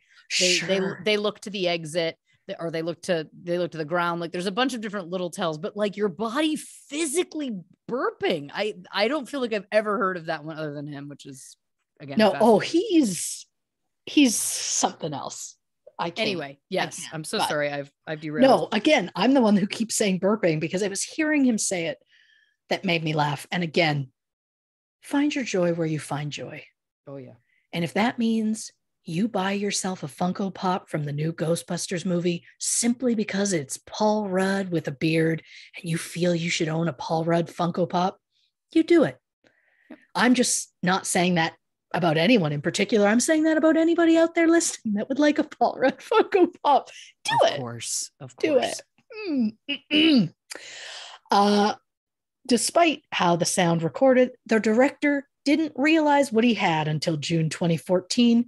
In early 2014, the LAPD reopened their investigation into the murder of Susan Berman. July 24th, 2014, Durst turns himself in after an incident at a CVS in Houston where Durst peed on a candy rack. Yeah, he was fined $500. Months later, police conclude that Durst is the author of the cadaver letter that was sent to them after the death of Susan Berman. In March 2015, Durst goes back on the run, only to be ar- arrested four days later in New Orleans. He was found with $40,000 cash, a gun, and a latex mask that is levels of horrifying. Just so you know, I am going to post a picture of it on our socials because I found a picture of somebody holding it up and it's horrifying on Instagram and Facebook at True Crime and Cocktails and at Twitter, on Twitter at Not Detectives. Almost got through it. Yeah. Oh my God, the math. I can't stop thinking about it. So uh, Durst pleads guilty to a gun charge and is sentenced to 85 months, but he's extradited to California to stand trial for Susan's murder. Durst pleads not guilty in November 2016, but he does admit to writing the letter that tipped off police about her murder. After many delays, including health reasons, Hurricane Harvey, and the pandemic, Durst's trial finally starts in March 2020. In September 2021, Durst is convicted of Susan's ver- murder and he's sentenced to life in prison without the possibility of parole. In October, he is officially charged with the murder of his first wife, Kathleen. Prosecutors believe that Durst killed Kathleen because she was trying to divorce him and then killed Susan because she knew too much. But before the trial could happen, Robert Durst died of cardiac arrest in prison on January 10th, 2022, at the age of 78. So this guy is clearly a piece of shit. Why am I bothering to bring him up? Well, there's the fact that in March 2015, police in Vermont started to look into whether there might be a connection between Durst and a missing college student. Interesting. 18 year old freshman Lynn Schulze was last seen December 10th, 1971, eating dried prunes that she had bought at a health food store owned by Durst. As of May 2022, Lynn has never been found. Lynn was incredibly bright, and like Kristen Modafferi, Lynn had earned a National Merit Scholarship. Again, what does Lynn's case have to do with Kristen? Well, I only offer it to show that another smart, beautiful 18 year old girl went missing in an area where Durst was living at the time. If it's possible he had something to do with Lynn's disappearance, then it's also possible he could be responsible for more disappearances. In 2003, the San Francisco District Attorney's Office released a report in which they attempted to connect Durst to the disappearance of two girls in Northern California in 1997. The girls in question are 16 year old Karen Mitchell and 18 year old Kristen Modafferi. Karen Mitchell went missing November 25th, 1997, almost exactly five months after Kristen disappeared. Karen was in Eureka, California, which is 271 miles or 436 kilometers north of San Francisco. At the time of Karen's disappearance, Durst was living in Trinidad, California, which is only about 23 miles or 37 kilometers north of Eureka. Karen used to volunteer at a shelter for people without housing, where Durst stayed multiple times. After leaving the shelter, Karen visited her aunt's shoe store which Durst allegedly frequented, often dressed as a woman. Which doesn't come as a surprise, as he would later go and live in Galveston posing as a woman. After Karen left her aunt's store, a witness saw Karen get into a vehicle. A sketch of the driver was released to the public, and many believe it bears a resemblance to Durst. As of May 2022, Karen Mitchell has not been found. Is Durst responsible for Karen's disappearance? He was in the area and potentially met Karen at the shelter, so I think it's more than possible. And since Durst owned a house in the San Francisco area at the time of Kristen's disappearance, some believe Durst may have been involved. Honestly, the idea that this creep was in the same area as Lynn, Karen, and Kristen when they all disappeared makes me seriously consider him as a suspect. Police were able, never able to find a connection between Durst and Kristen or any concrete evidence linking him to Karen, so Durst was never officially charged of either crime. From one sleazebag to another, yeah. The next possible suspect in the disappearance of Kristen Modafferi involves an anonymous tip. On July 10th, ABC affiliate KGO TV in San Francisco received an anonymous phone call from a man who claimed that Kristen had been part of a lesbian love triangle. The caller, who named two specific women, said the women shot and killed Kristen in the back seat of a car near Market Street and Castro.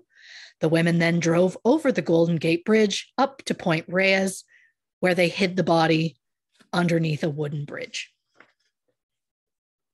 The reporter who took the call then contacted the police with the tip, and officers immediately headed over to the YMCA where these two women worked.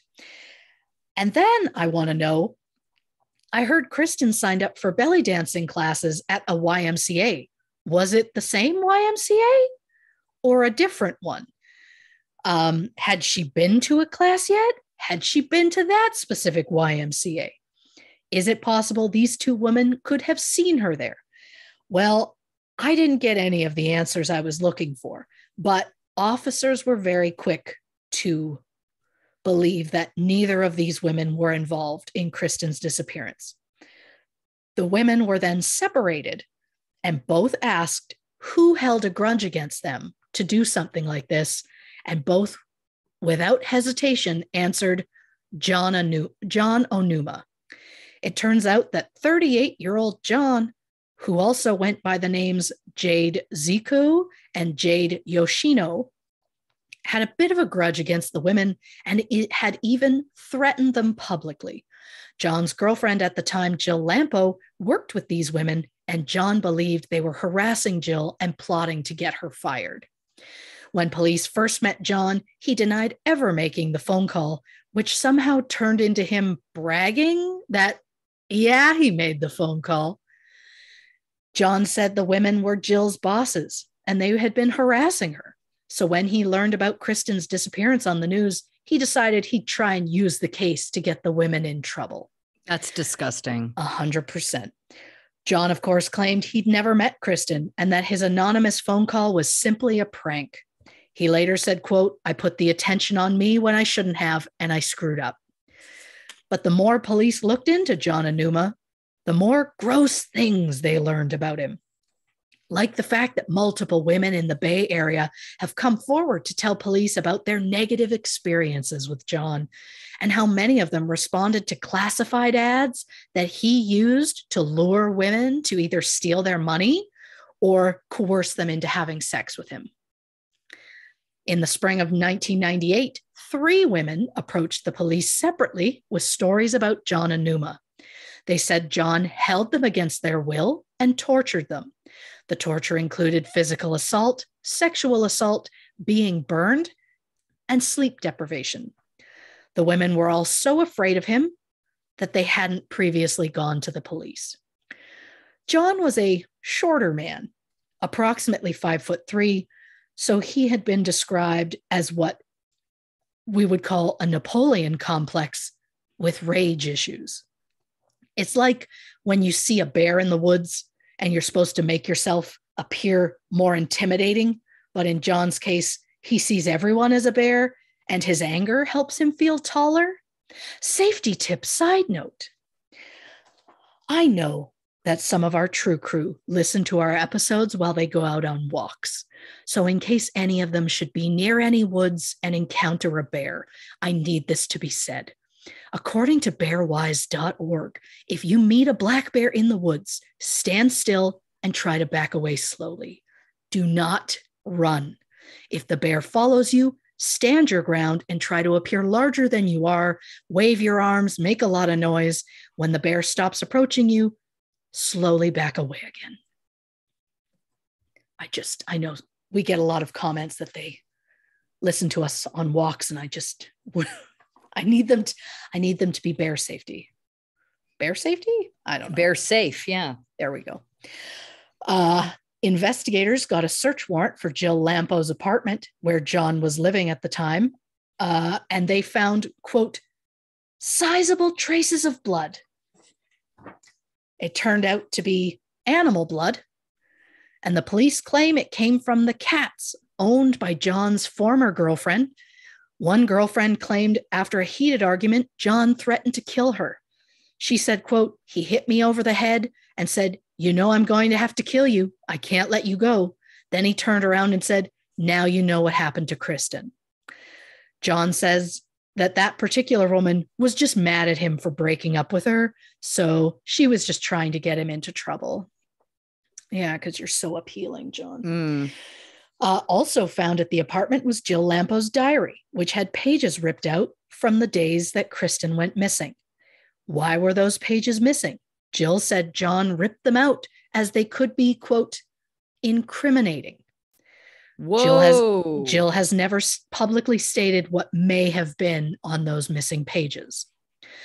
So, with all the heat from police, John ends up leaving California and police struggle to find him. So, John is featured on an episode of America's Most Wanted in 1999.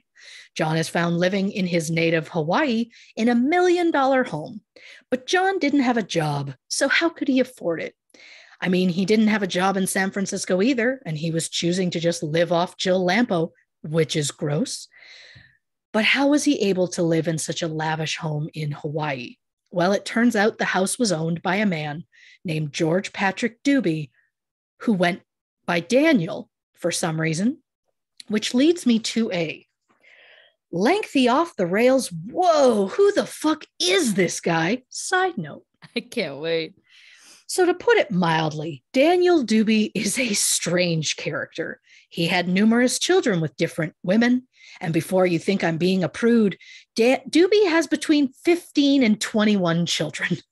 Okay. So, yeah, it's a lot. Uh, in 1978, he kidnapped one of his own children and fled to Thailand. Two years later, he called and told the child's mother he was bringing her home. So they made arrangements to meet at a mall in Washington, and he was arrested on the spot. But that isn't why I call Daniel Dubie a strange character. I use the word specifically because Daniel started a cult when he convinced multiple people that he was the reincarnation of Jesus Christ. Oh, boy. The FBI investigated Daniel while he was living in Hawaii in 2001.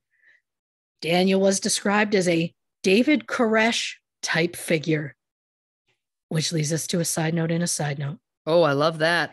David Koresh was the leader of the Branch Davidians, an apocalyptic religious movement. Koresh claimed that he was the final prophet, which somehow got him a lot of devoted followers. In the early 90s, former Branch Davidian members accused Koresh of child abuse and polygamy. The FBI got involved and found the group was stockpiling weapons. The ATF raided Koresh's compound in Waco, Texas on February 28, 1993. They initially were attempting to serve a search and arrest warrant, but a gunfight ensued, which resulted in the deaths of four government agents and six Branch Davidians. This led to a 51 day siege of the property, led by the FBI, who started their attack with tear gas. Soon the compound was engulfed in flames, and the whole thing resulted in the deaths of 86 people, including 10 government agents, two pregnant women, 25 children, and David Koresh himself. So, like David Koresh, Daniel Dubie was trying to convince people he was somehow someone he's not, or in Dubie's case, Jesus. And sadly, a lot of people did somehow believe him. He got millions of dollars from faithful followers. One FBI agent described Daniel as, quote, a classic fraudster, a swindler with an uncanny ability to capture the minds of individuals who weren't as strong as he was. And I want to make it clear I do not blame anyone that was conned out of their money. Con artists tend to be good at their jobs, and I'm disgusted that they make a living taking advantage of other people. And Daniel took advantage of many, including Geraldine Svitanovich, who was the co founder of Herbalife. Daniel worked his magic, and within 30 days of starting a relationship with her, Daniel and Geraldine got married, and Geraldine signed over most of her real estate to Daniel. Geraldine has been stuck in legal battles for years trying to get back what is rightfully hers. And one of those properties she'd put in Daniel's name the house where John Onuma was hiding out in. I don't know how John and Daniel knew each other, but they were both creeps who mistreated women. So maybe they met at a group meeting. I don't know. I'm, Lord knows there's more of those out there. Mm-hmm. Uh, one of Daniel's most devoted followers was a Canadian woman who went by the name Maggie Crane and Gina Hart. To save any confusion, I'm just going to call her Maggie. Some newspapers reported that Maggie was in on everything, helping Daniel to brainwash unsuspecting victims into giving up their money. Some even referred to Maggie and Daniel as, quote, a 21st century Bonnie and Clyde, which is a fun callback to our last episode. But I don't have much to base this opinion on, but I don't think Mag I think Maggie was as much a victim of Daniel's as anyone else that he took advantage of. She bought into his story and followed him around. She didn't get any money out of it and was in fact struggling to raise his children. So Maggie and Daniel Dubie lived together for many years. They had six children together. Daniel ends up leaving her high and dry to raise the children on her own. He's off in Thailand living with another woman that he refers to as his wife. And Maggie is kind of pissed about it, but mostly because she was deeply in love with him and wanted him back, but also upset that he wasn't giving her money to raise their children. So Maggie goes to Thailand, finds Daniel at a restaurant called Whole Earth, having lunch with his current live in girlfriend on July 3rd, 2006. Maggie brought in a gun, shot him twice in the chest. Daniel died. Oh boy. At the time of his death, Daniel had convinced people that he was a prominent filmmaker who worked for CNN. CNN has confirmed that he did not. Daniel also claimed he was working with the United Nations during doing tsunami relief. Again, he was not. But the whole point of the two of them meeting, um, also, if you go to search him, it's like, oh, this filmmaker died. And I'm like, oh, so it's a different guy. And it's so confusing. And then you find out, no, it's the same guy. It's just he lied so many different times about what he was that articles claim he's so many different people. It's it's wild. Um, so Maggie claims that he told her to meet him at the restaurant and that he would give her money for their kids. But when she showed up, he just verbally assaulted her and went so far as to say their sixth child wasn't biologically his. So Maggie got angry, pulled out a gun, shoots him in broad daylight. He was 56 years old. Maggie was arrested and sentenced to two years for Daniel's murder and another year and a half for possessing and carrying a pistol in public. Maggie and Daniel's oldest child, Angel Crane, then got custody of her five younger siblings who ranged in age from 5 to 15. Angel was just 23 at the time, which is overwhelming to think about. And as a mother, I hope that Angel was given a lot of support. And I'm talking financially, physically, emotionally, everything while trying to raise her siblings at that yeah. time. So when police found John Onuma, he was living in a swanky house in Hawaii. And when police started to zero in on him, Daniel Dubie, the owner of the house, didn't like police hanging around so much. So he kicked John out who then went to live with his girlfriend, Momi Durand, at 3030 Kahili Street in Honolulu. A quick Momi side note. Momi ran a daycare out of her home. She contacted the TV show Extreme Home Makeover. Shout out Ty Pennington. Yes. Uh, and told them a sob story about what a disarray her daycare is, etc. Uh, the show flew out the entire production to Hawaii and created Extreme Makeover Hawaii Edition. There is an episode somewhere on YouTube that shows Momi getting a new house complete with rec center for her daycare. For those looking for it, Momi is listed as the Akana family.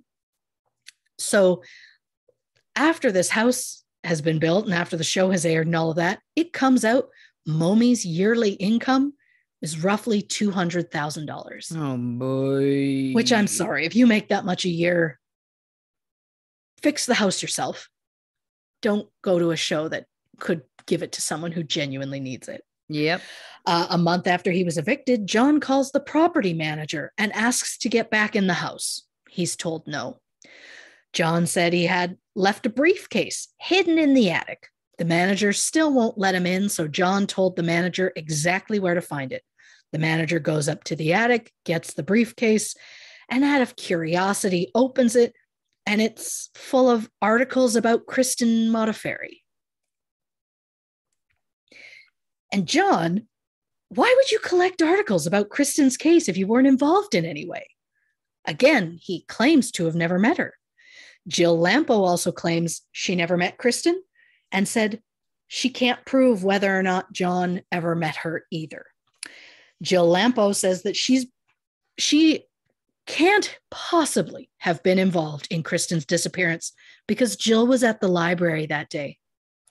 But since we don't know what time of day Kristen actually disappeared, then the library excuse isn't valid. Nope. Not to mention, Kristen had recently received mail from the library and was in possession of two library books. So, is it possible that Kristen met Jill Lampo at the library? I don't know which library either attended, but I want to believe police have looked into that angle because I thought of it right away.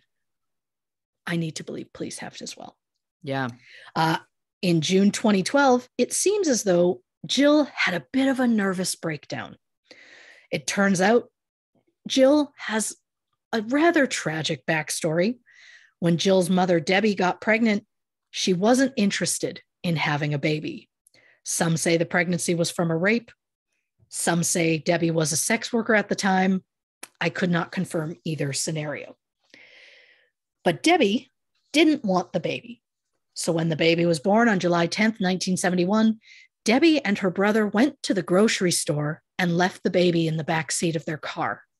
They went in, did some shopping, and when they came out, they claimed, Oh my God, somebody left a baby in our car. Oh, wow. Yeah. Uh, the story was broadcast on the news, and a family watching, the Lampo family, uh, contacted police and said they would happily take that baby into their home.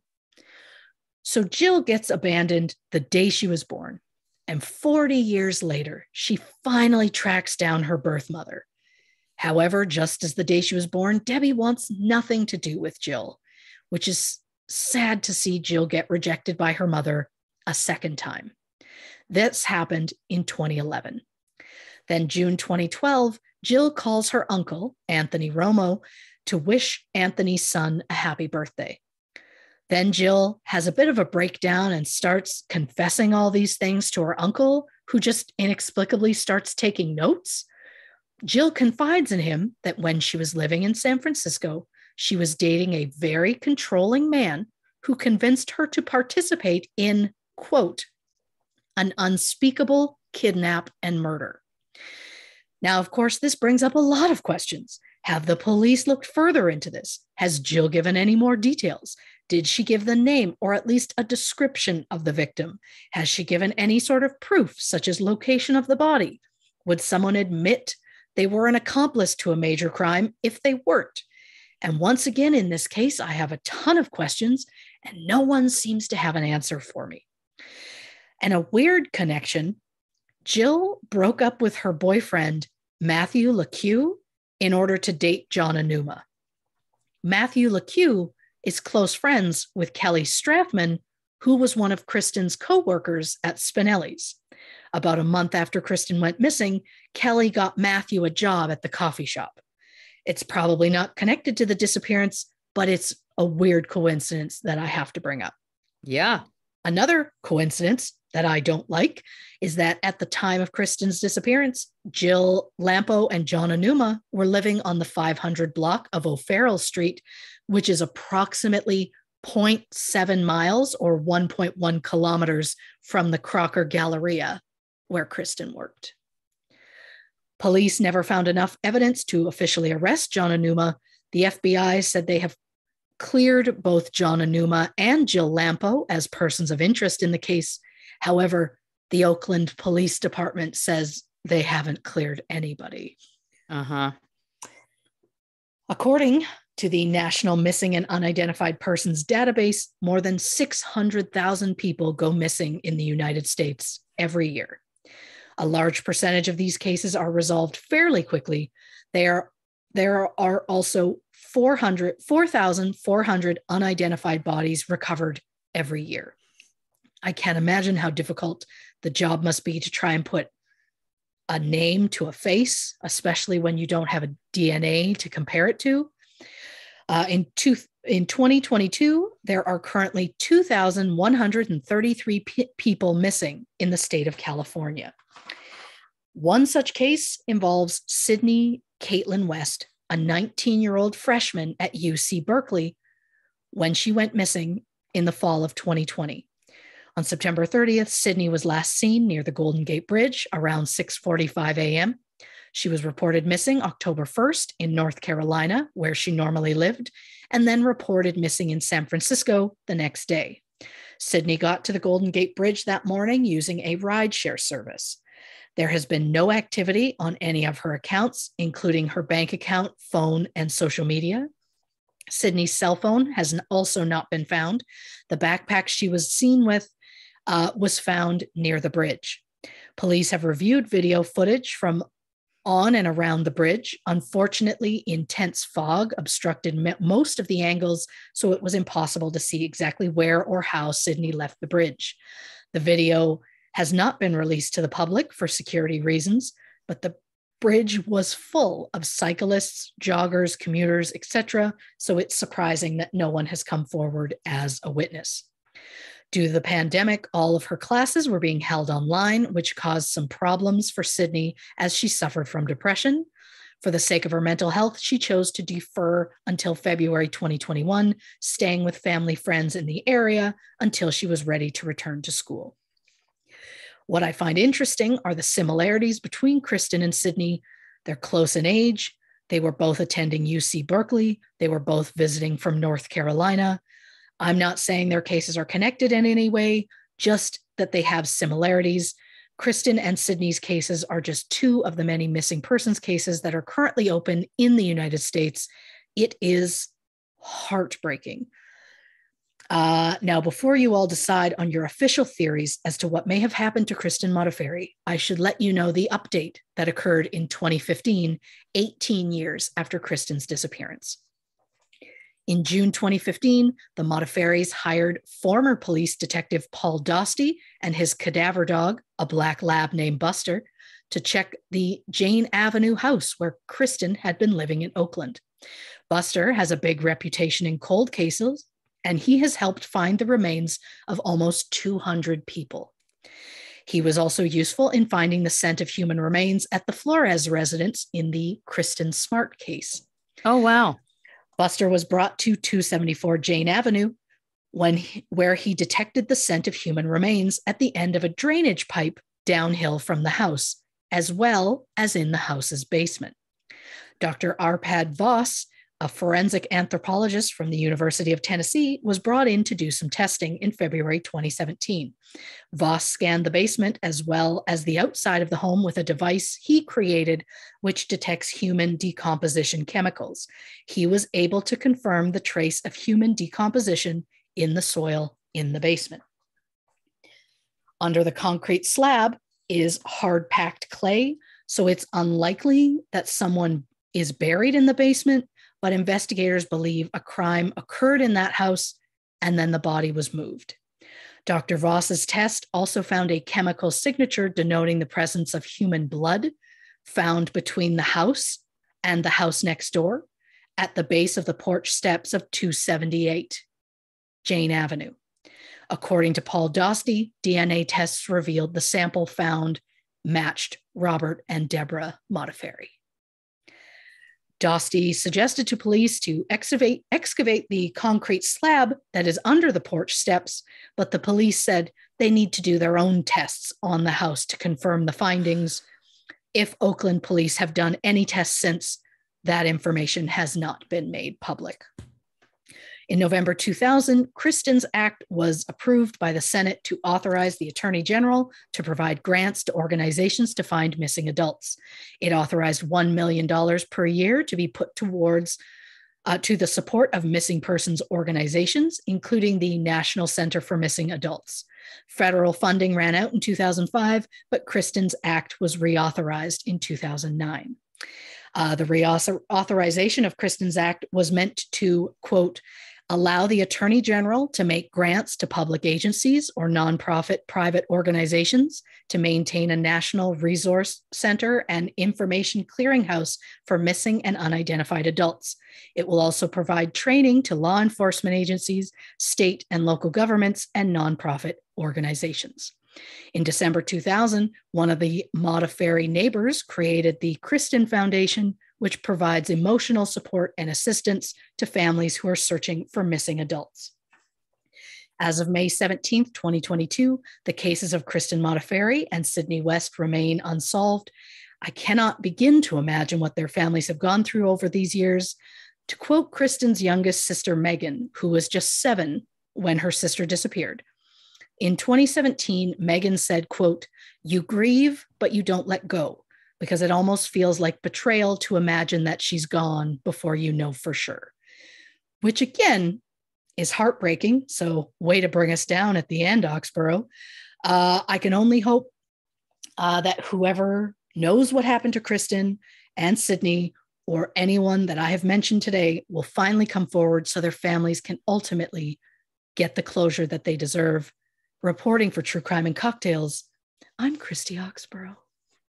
I love that you say you're bringing us down. I want to remind you, I have cried at the end of multiple episodes that I have researched on this show. So I think you're doing great. But you're also a delight that says things like ass to ass.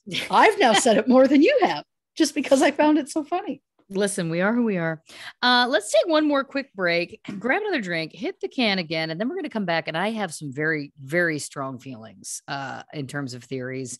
Uh, so you're not going to want to miss that on this episode of True Crime and Cocktails. All right, here's that final clap. Ready? Yep.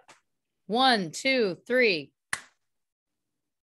Welcome back to this episode of True Crime and Cocktails. We're, of course, talking about the case of Kristen Modafferi. I'm going to get into my thoughts real quick here.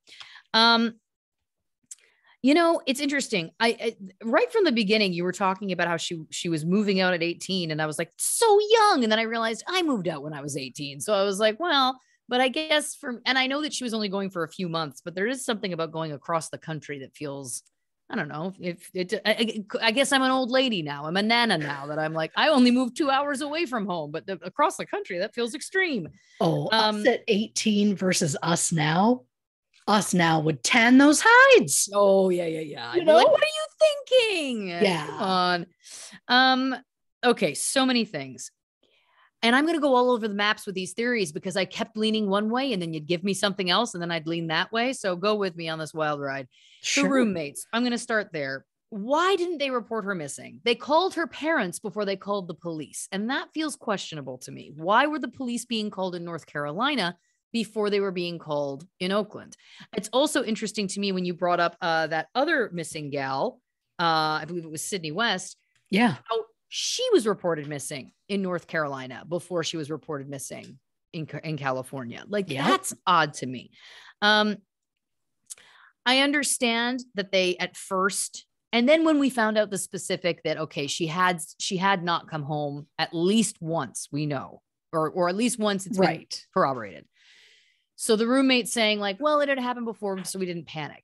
Okay, I can kind of give them that then. But to me, after it's been a few days and you found out that she hadn't shown up to work, I think you you call the police and you call the parents or you you do them in quick succession. Like it seems yeah. odd to me that that there was, you know, and them saying like, "Oh, we didn't want to rat her out." The ages of those roommates were too old in my or the, at least a couple of them were too old to be worrying about that kind of thing. 21, 28, 25, 24. There's a 28 year old man that is a man. You're a man when you're 28. Yeah.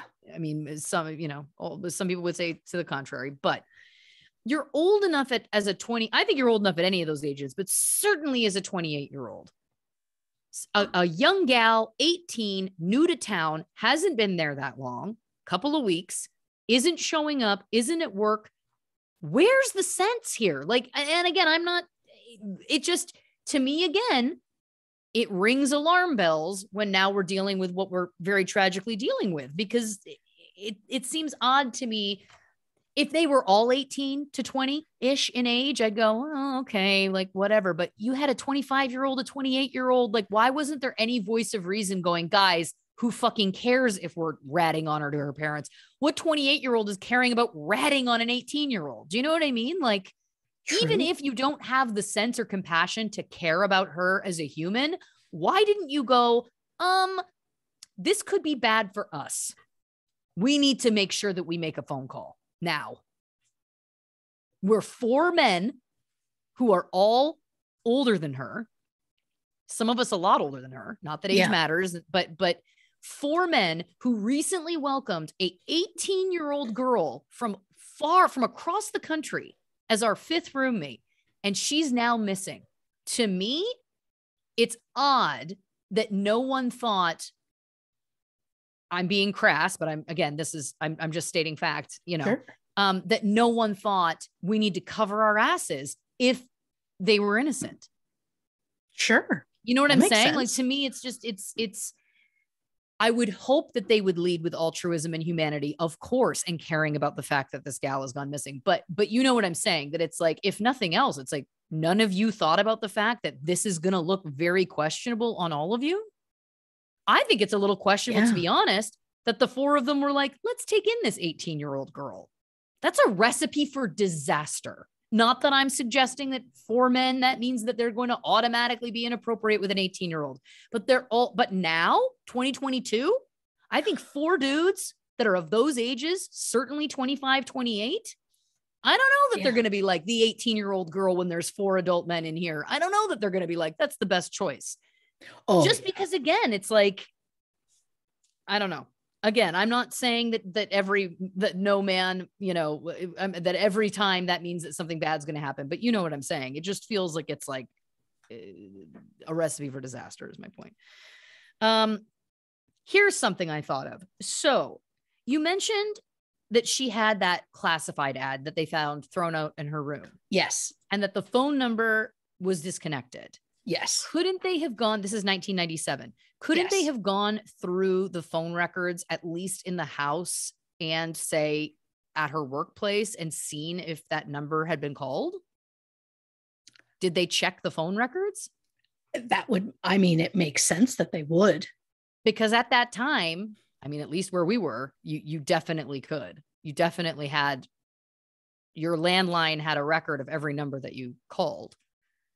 Right so it's just interesting to me because it felt like there was this question mark about like, well, we don't know. And it's like, well, did you check? Like, did, did you check to see if she'd maybe called or somebody in the house had called that number? Right. Because she wouldn't have had a cell phone at the time. So it should be unlikely. I mean, she could have, but it, it, I mean, cell phones again did exist at that time, but not like they do now, obviously. But again, I'm just saying, like, did you at least check to see if that number had been called from that house, that landline. We know there was a landline at that at that house. Right. To me that was a question mark. Now, you're going to love this. This is the number one clue. And I know what you're going to say. You're going to say, Ash, you're already out on a batshit tangent. How is this possible? I can't wait. But hear me out. Yes. The number one clue I heard anonymous donator donor donates numerous billboards. Who? Why? Why anonymous? Think about the psychologist hat. If you are somebody who has committed this crime and you are, uh, you know, sociopath, psychopath, narcissist, there's lots that would sure. fall under this umbrella.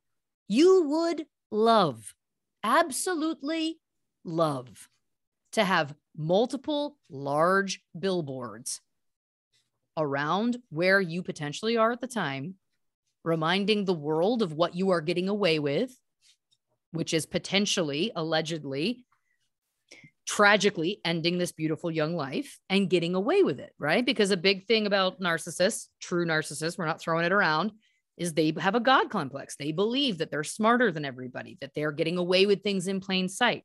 So, skipping ahead for a second here, I start it started to come up again and again for me when we started to look at some of these different possible theories of, of people who could be involved. Robert Durst, first of all, I love this theory. Robert Durst, to me, when he said on that tape, so many things, but killed them all, of course. That to me, the wording of that. Now, I know that he was, you know, sputtering a lot of things. There was potential some mental health happening in that moment. But at that time, we knew that he had probably killed his wife, Susan, and his roommate at the boarding house. Yeah. I'm not saying that you wouldn't refer to three people as all. But what struck me when I watched that documentary years ago was that I was like, would we say that if referring to only three? Killed them all. To me, the human nature of an English speaker, I know it would vary region to region, but would be killed all three. Like, like to me, killed all, killed them all. My gut in that moment was like, he's killed more than three. That's just what I felt in that moment. So to me, the fact that there could be this string of other people, the fact that we're seeing a potential pattern, the fact that the gals are similar, potentially he picked up um, this first one at his at his health food store. The fact that the other two, the fact that we know that Kristen got into people's cars multiple times and took rides, and we knew that Karen was seen getting into a car with somebody that did match Robert's description. Is it possible? Again, that's an MO. What else do we know about Robert Durst? We know he had money. We know that he had money squirreled away in all kinds of places. Yeah. That could be somebody who would have the money to pay anonymously for multiple billboards. Just saying. Oh, great point. Right. I also then, uh, agree with you and your uh, killed them all. If he had just said, I killed them, yeah and left it at that then it's like okay but the fact that he chose to say all somehow makes it feel bigger than just them yeah and you say they them because they're the ones that they mention to you you say all when it's those ones and ones you don't know about right you know yes yeah. and it's a semantics game for sure absolutely but i think the psychology of it and because again a different person, it could go either way. I think that person in that moment, given everything that's going on, to me, I I think it that there is something there. I I always thought back then. And then this was amazing for me because I was like, I've always had this theory, and now I'm hearing that there could be other people. Um, okay. So then again, I'm jumping all around here, but because I'm fixated on the billboards. Um, the next one as well, John. John sorry, his last name is not in. John Onuma. John Onuma. So we know that John Onuma had the connection to the classified ads. We know that he was luring women with classified ads. So how do yeah. we know that he wasn't the one in the classified ad that they found in Kristen's room? Now I know that doesn't have to do with the billboards, but I just saw that in my notes and I was like excited to get that out. Of course. But again, there's something in that to me. Now, go with me on this again. I know I'm really taking a stretch out there. Is it possible he was friends with this this Dubie character, this Daniel Dubie character who we knew had a ton of money? Is it possible that he fronted the money for these billboards for John? Is that possible? Sure. That John was like, I need this cash, whatever, can you help me out, etc. We also know um, that his his next girlfriend was also arguably a little scammy. She makes 200k a year. She wanted to get on the extreme makeover show, so she made sure. it sound like she didn't. I don't know how much they spent on these billboards, but what I do know is that's another person who has money. It just seemed to me again like he had people in his life that could have also potentially been involved in paying for these billboards. Um, Anyway, I digress for a second, but it's to me that is if I was like FBI profiling, which as you know is would be a goddamn dream of mine. um, that to me, there's some th- that's where I would start. Go after who anonymously paid for those billboards. I'm telling you, I'm telling you, that's not common. How often do we hear about like, we've covered enough cases? Have we covered them all? Of course Of not. Of course. There's sadly billions. But yes. I have never once, this is the first time I have ever, ever, ever heard that an anonymous donator, donator, um, donor specifically donated billboards. Weird. Yeah. Why that? To me, there's just some, something that's so grandiose about that that doesn't sit with me. I'm like, that that's to me, I just think there's something in that. Could be wrong, but also could be right. Um, there's also something interesting to me, and you may not know the answer to this, but Dennis Mann, we know that he was was just a citizen who decided to follow this case, research this case, and we know that one of the things he did was he went to Thailand to follow a lead, correct? Yes. Isn't it also interesting that Daniel Dubie ended up in Thailand? Now, I don't know if the timeline would have overlapped for them to have been there at the same time, but it just seems interesting to me that both of them went to live there and then Daniel Dubie did die there. It just feels like an odd coincidence. And is it a coincidence? Is it possible they were there at the same time? Is it possible, go with me, that Daniel Dubie knew Mhm. knew this other gentleman and allegedly is this other gentleman, you know, invested in throwing people off the scent of John Onuma as a favor to Daniel Dubie. Sure. Sure. I mean, again, that's that's now we're getting real bad shit. But you know, I mean, I know that Daniel went to Thailand. I know he was there after Daniel was killed because he went there specifically to speak with Maggie about killing him. oh, interesting. And you only get so much time a day to be able to speak to um uh, to speak to prisoners. And he was like, well, it's not worth it to fly there just for the 15 minutes you're allowed a day. So he gave up his life essentially and moved to Thailand to be able to like build a rapport with Maggie. Why is he so interested in this case? I just also don't know what could Maggie know that would be worth uprooting yourself and going to Thailand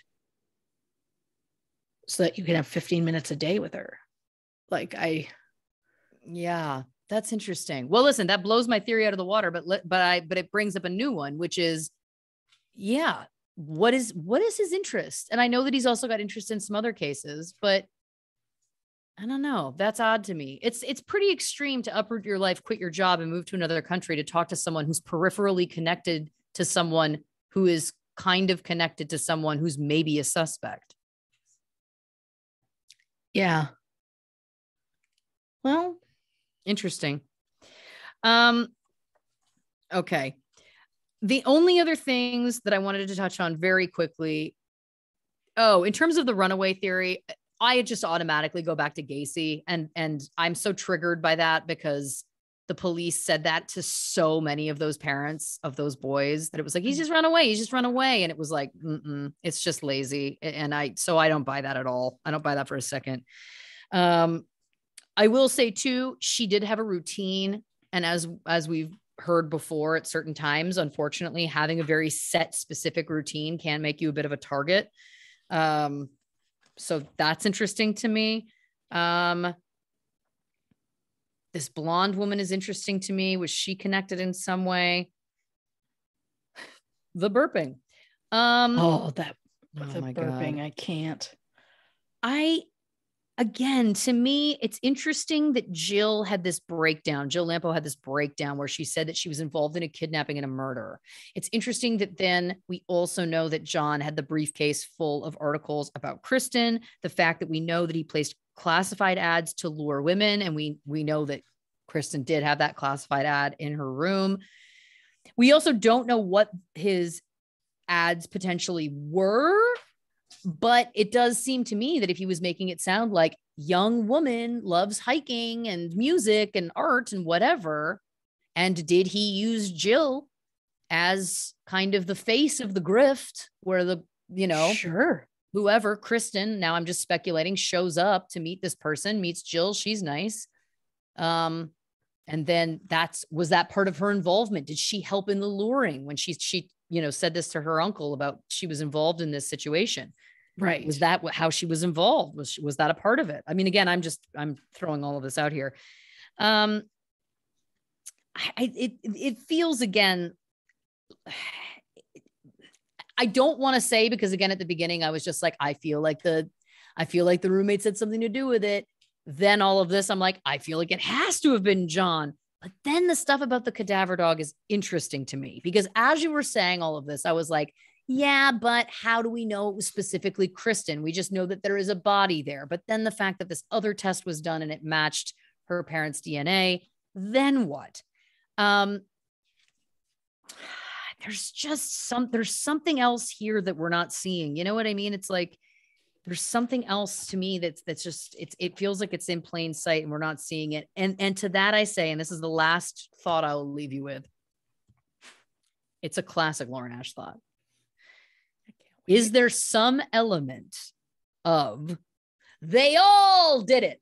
Is there some aspect because why does John have this obsession with her that he's bringing her name up, that he's using her to try and, you know, infiltrate or sorry, implicate um, these two other women that worked with Jill?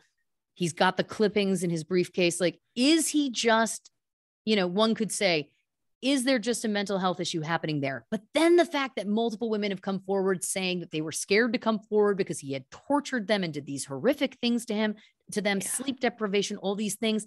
You know as well as I do, that type of behavior doesn't tend not to escalate. If you're sure. starting with with luring, torturing, doing all these things to women, we've done enough of this show to know typically you're going to escalate to doing a kill. Is it possible again that it somehow happened in that house?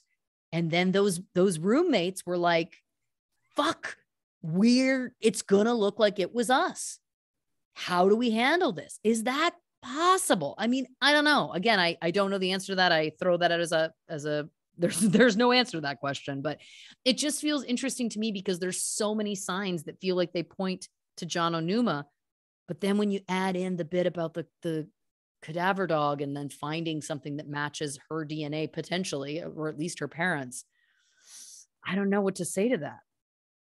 And then, of course, there's also the theory, obviously, that I didn't really touch on that she had just potentially sadly fallen off the cliff.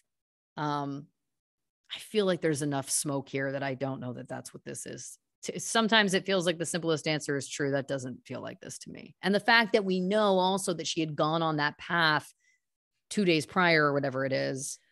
Yeah. It kind of makes that, unfortunately, it, it makes that a little bit um, of a moot point because if we know for sure she was there two days prior, the scent i feel like you know it's it's it could still be the same scent from that visit.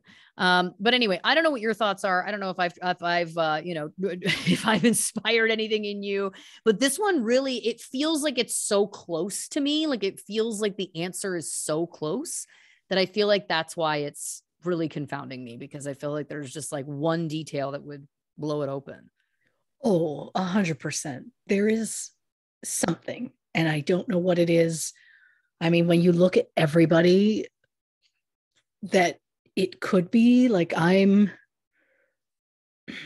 I'm so skeptical of four adult men living with an 18 year old girl. Um, it's just like, was it, did something happen? Was there some sort of accident? And they just did a really terrible job of covering it up. And then it's like, why does John Onuma, like, why would you have a briefcase full of articles about her? That's weird.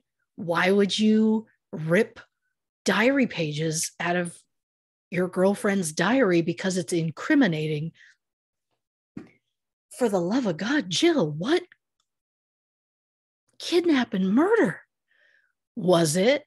Has she since recanted that and been like, oh, I, yeah, I didn't mean that. He can't prove that. And also just be like, well, I obviously wasn't part of anything to do with her disappearance. I was at the library. It's like, but we didn't say what time. Yeah. It's like when you invite someone to a party and they don't want to go and they're like, oh, I can't go. And you're like, I didn't tell you what day it was. It's also a You know? little odd to me that a letter shows up at the house for her. They claim that they were not super worried about her being missing, but they were so worried that they opened the first letter that arrived for her. And also, like, if it's from the library, you would think that it would be on a library stationary envelope. Sure. Like, why would that be the thing? It's just odd to me. There's just again, there there feels like there's details throughout that don't add up, which makes it feel again like it's like they all did it in the sense of, you know, is somebody covering for something that doesn't actually mean that they were involved in her disappearance, but in covering for something else, it's covering, you know what I mean? Like Sure. um, the only other thing I will offer, this just came to me. We know that Robert Durst was living at least part time at a shelter for people without housing, the one that Karen worked at. Right. We know that. So, so is it possible that he knew people through that place or social programs or or whatever that were living at the house next door to Kristen and the roommates, where we know again that the trail from the cadaver dog led. Right. Is it possible? Is it possible? Again, go with me. Is it possible that they knew John? Is it possible that, that there was a connection there too? If this is somebody who's using utilizing classified ads to lure people, to lure women to torture them, is there some sort of God knows. But do you know what I mean? Like, is there some way that there's there's a couple of these different things that are connected? Yes, I know I'm using my fucking clue. They they all did it theory, but it just again, it just seems it just feels it feels like there's there's no clear answer. And truthfully, it feels like often when we do these, there's usually one suspect that it feels like, well, But this one, it's like, I don't know. it yeah i mean one of my, one of the big things for me that i can't really get past robert durst i'm i mean i'm fully believe he killed his wife and his friend and the neighbor but like the neighbor he obviously didn't do a great job covering that. But how? How did he pull off murdering his wife and like there's no sign of her? How has I've he often pulled thought of that. i just can't like he had to have had help or something because i just don't know how like he seems too scattered mentally to like be able to come up with a plan and pull it off But when did the scatter? When did the scatter um, start? Oh, that's a great point. Probably when he started peeing in a garbage can at work. like when he was living his life, having the the what was it the the health the health food store or whatever it was. Maybe he was one way and then over time something happened. I don't know. It's just like with Susan, shoots her and then just leaves her there and sends the police a letter, admits to sending the letter, which then it admits you know the you saw the body. Dude, it's just it's so painful. And then admits to dismembering after self-defense. Well, nobody's self-defense. If he was just dead, self-defense. Sure, try it. Self-defense, and you then felt the need to cut up the body. That's that's outrageous. And then he did a terrible is. job of It is. hiding any and all evidence. Whereas with his first wife, just no sign of her. Oh, but if we What? bulldoze that that cottage, Well, yeah, but here's my other question. What year did he kill he killed his roommate? Look, he he killed his wife. He killed his wife years years prior, prior like to 80, 1990. 82. right. Allegedly, speculating, Of we're just going with this theory. He would have killed Kristen and uh, Karen in 97. He Yeah. would not have killed the other two, the the roommate or Susan Berman, until after 2000. So to, it's possible. It's possible there's also many more. Oh, It's possible that again, like he he had his own mo with his with his uh, first wife, with these other gals, with other people, and then either he got sloppy, he had a mental health issue that was causing something else to be added in Sure. on top of the the already existing mental issues, or it can also be I you I have seen this in serial killers. They they it's not necessarily that they get sloppy, but they get cocky. So it's like it's almost like with depending on the person. Yeah, it's like I wrote a letter that I whatever because again with the true narcissist, it's like he can do that and they're not going to catch me.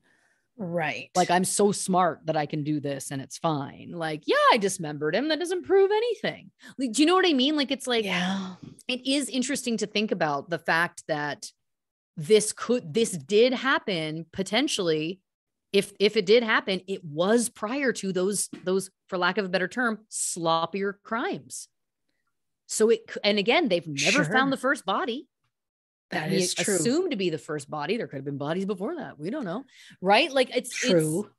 it's just interesting to me that yeah i don't know Uh, to me that that that's another sign that says could be possible Oh yeah. I don't like there was a chunk of time, like six years in the 90s, where it said like he just traveled around the country. And so it, I'm dying to see just just give me an approximate time and place because I want to track missing persons in all of those places to see is there, you know, a teenage girl that's gone missing in all of the places where he had been. another a hundred percent. Another important thing to remember. It was after 2000 that he moved to texas when he started living as the mute woman and Right. i only offer that because it feels like a that was kind of an, an extreme or eccentric choice Sure. um I- i think that's a fair statement uh given that his rationale was like this is how they won't catch me and it's like posing as a mute in general I- i mean i'm not saying that i mean this is I- i'm sure that there is a much larger percentage of people who don't speak than i realize but to me that makes you stand out more. Do you know what i'm saying? So it's like it was a it was a very kind of specific choice. My question is was that the beginning of perhaps this additional mental health crisis? Um and is there something in if you're spending time and i believe in that time and i could be wrong but i think he would talk in private to his boarding house mate the one that he killed. I think he Sure. would put down the veneer and talk but i might be wrong um but did he drive himself further into madness for lack of a better term by spending so much time not speaking living in the, do you know what i mean like was that a part of it i don't know It's more than possible. but I agree with you. I think it would be interesting to track his kind of movements where we know he was living at the time and try and and see if there is a correlation to to missing um gals certainly that fit this same kind of profile because Oh yeah, I'm I'm convinced of it. I just need the time. I need the time to I find know it, but also I don't think it's ever going to be possible to have a because I can't just go with an area. I need also a time yes to be Well, able you- to match it up. But what you need is a police computer and that's yeah, dream. Christy Oxborrow, amazing work. This one again has truly rattled me. I I'm going to be thinking about this for until further notice because I really am just to the core of my being rattled. Uh, amazing work as always. You never cease to amaze. you are too kind. Well, that's an award-winning researcher over there. So.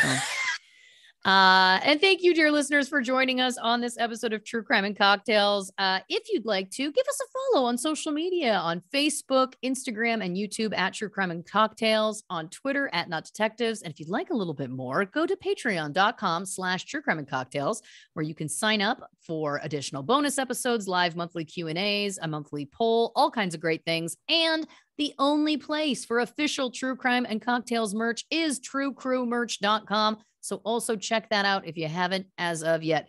Christy, do you want to tell the people about next week's episode? On the next True Crime and Cocktails, Malcolm Webster. I don't have any idea about Malcolm Webster, and I am jazzed to learn. Can't wait for that. Uh, do you want to say goodnight to the people? Good night, Paul Rudd. Oh, good night, future time traveling us.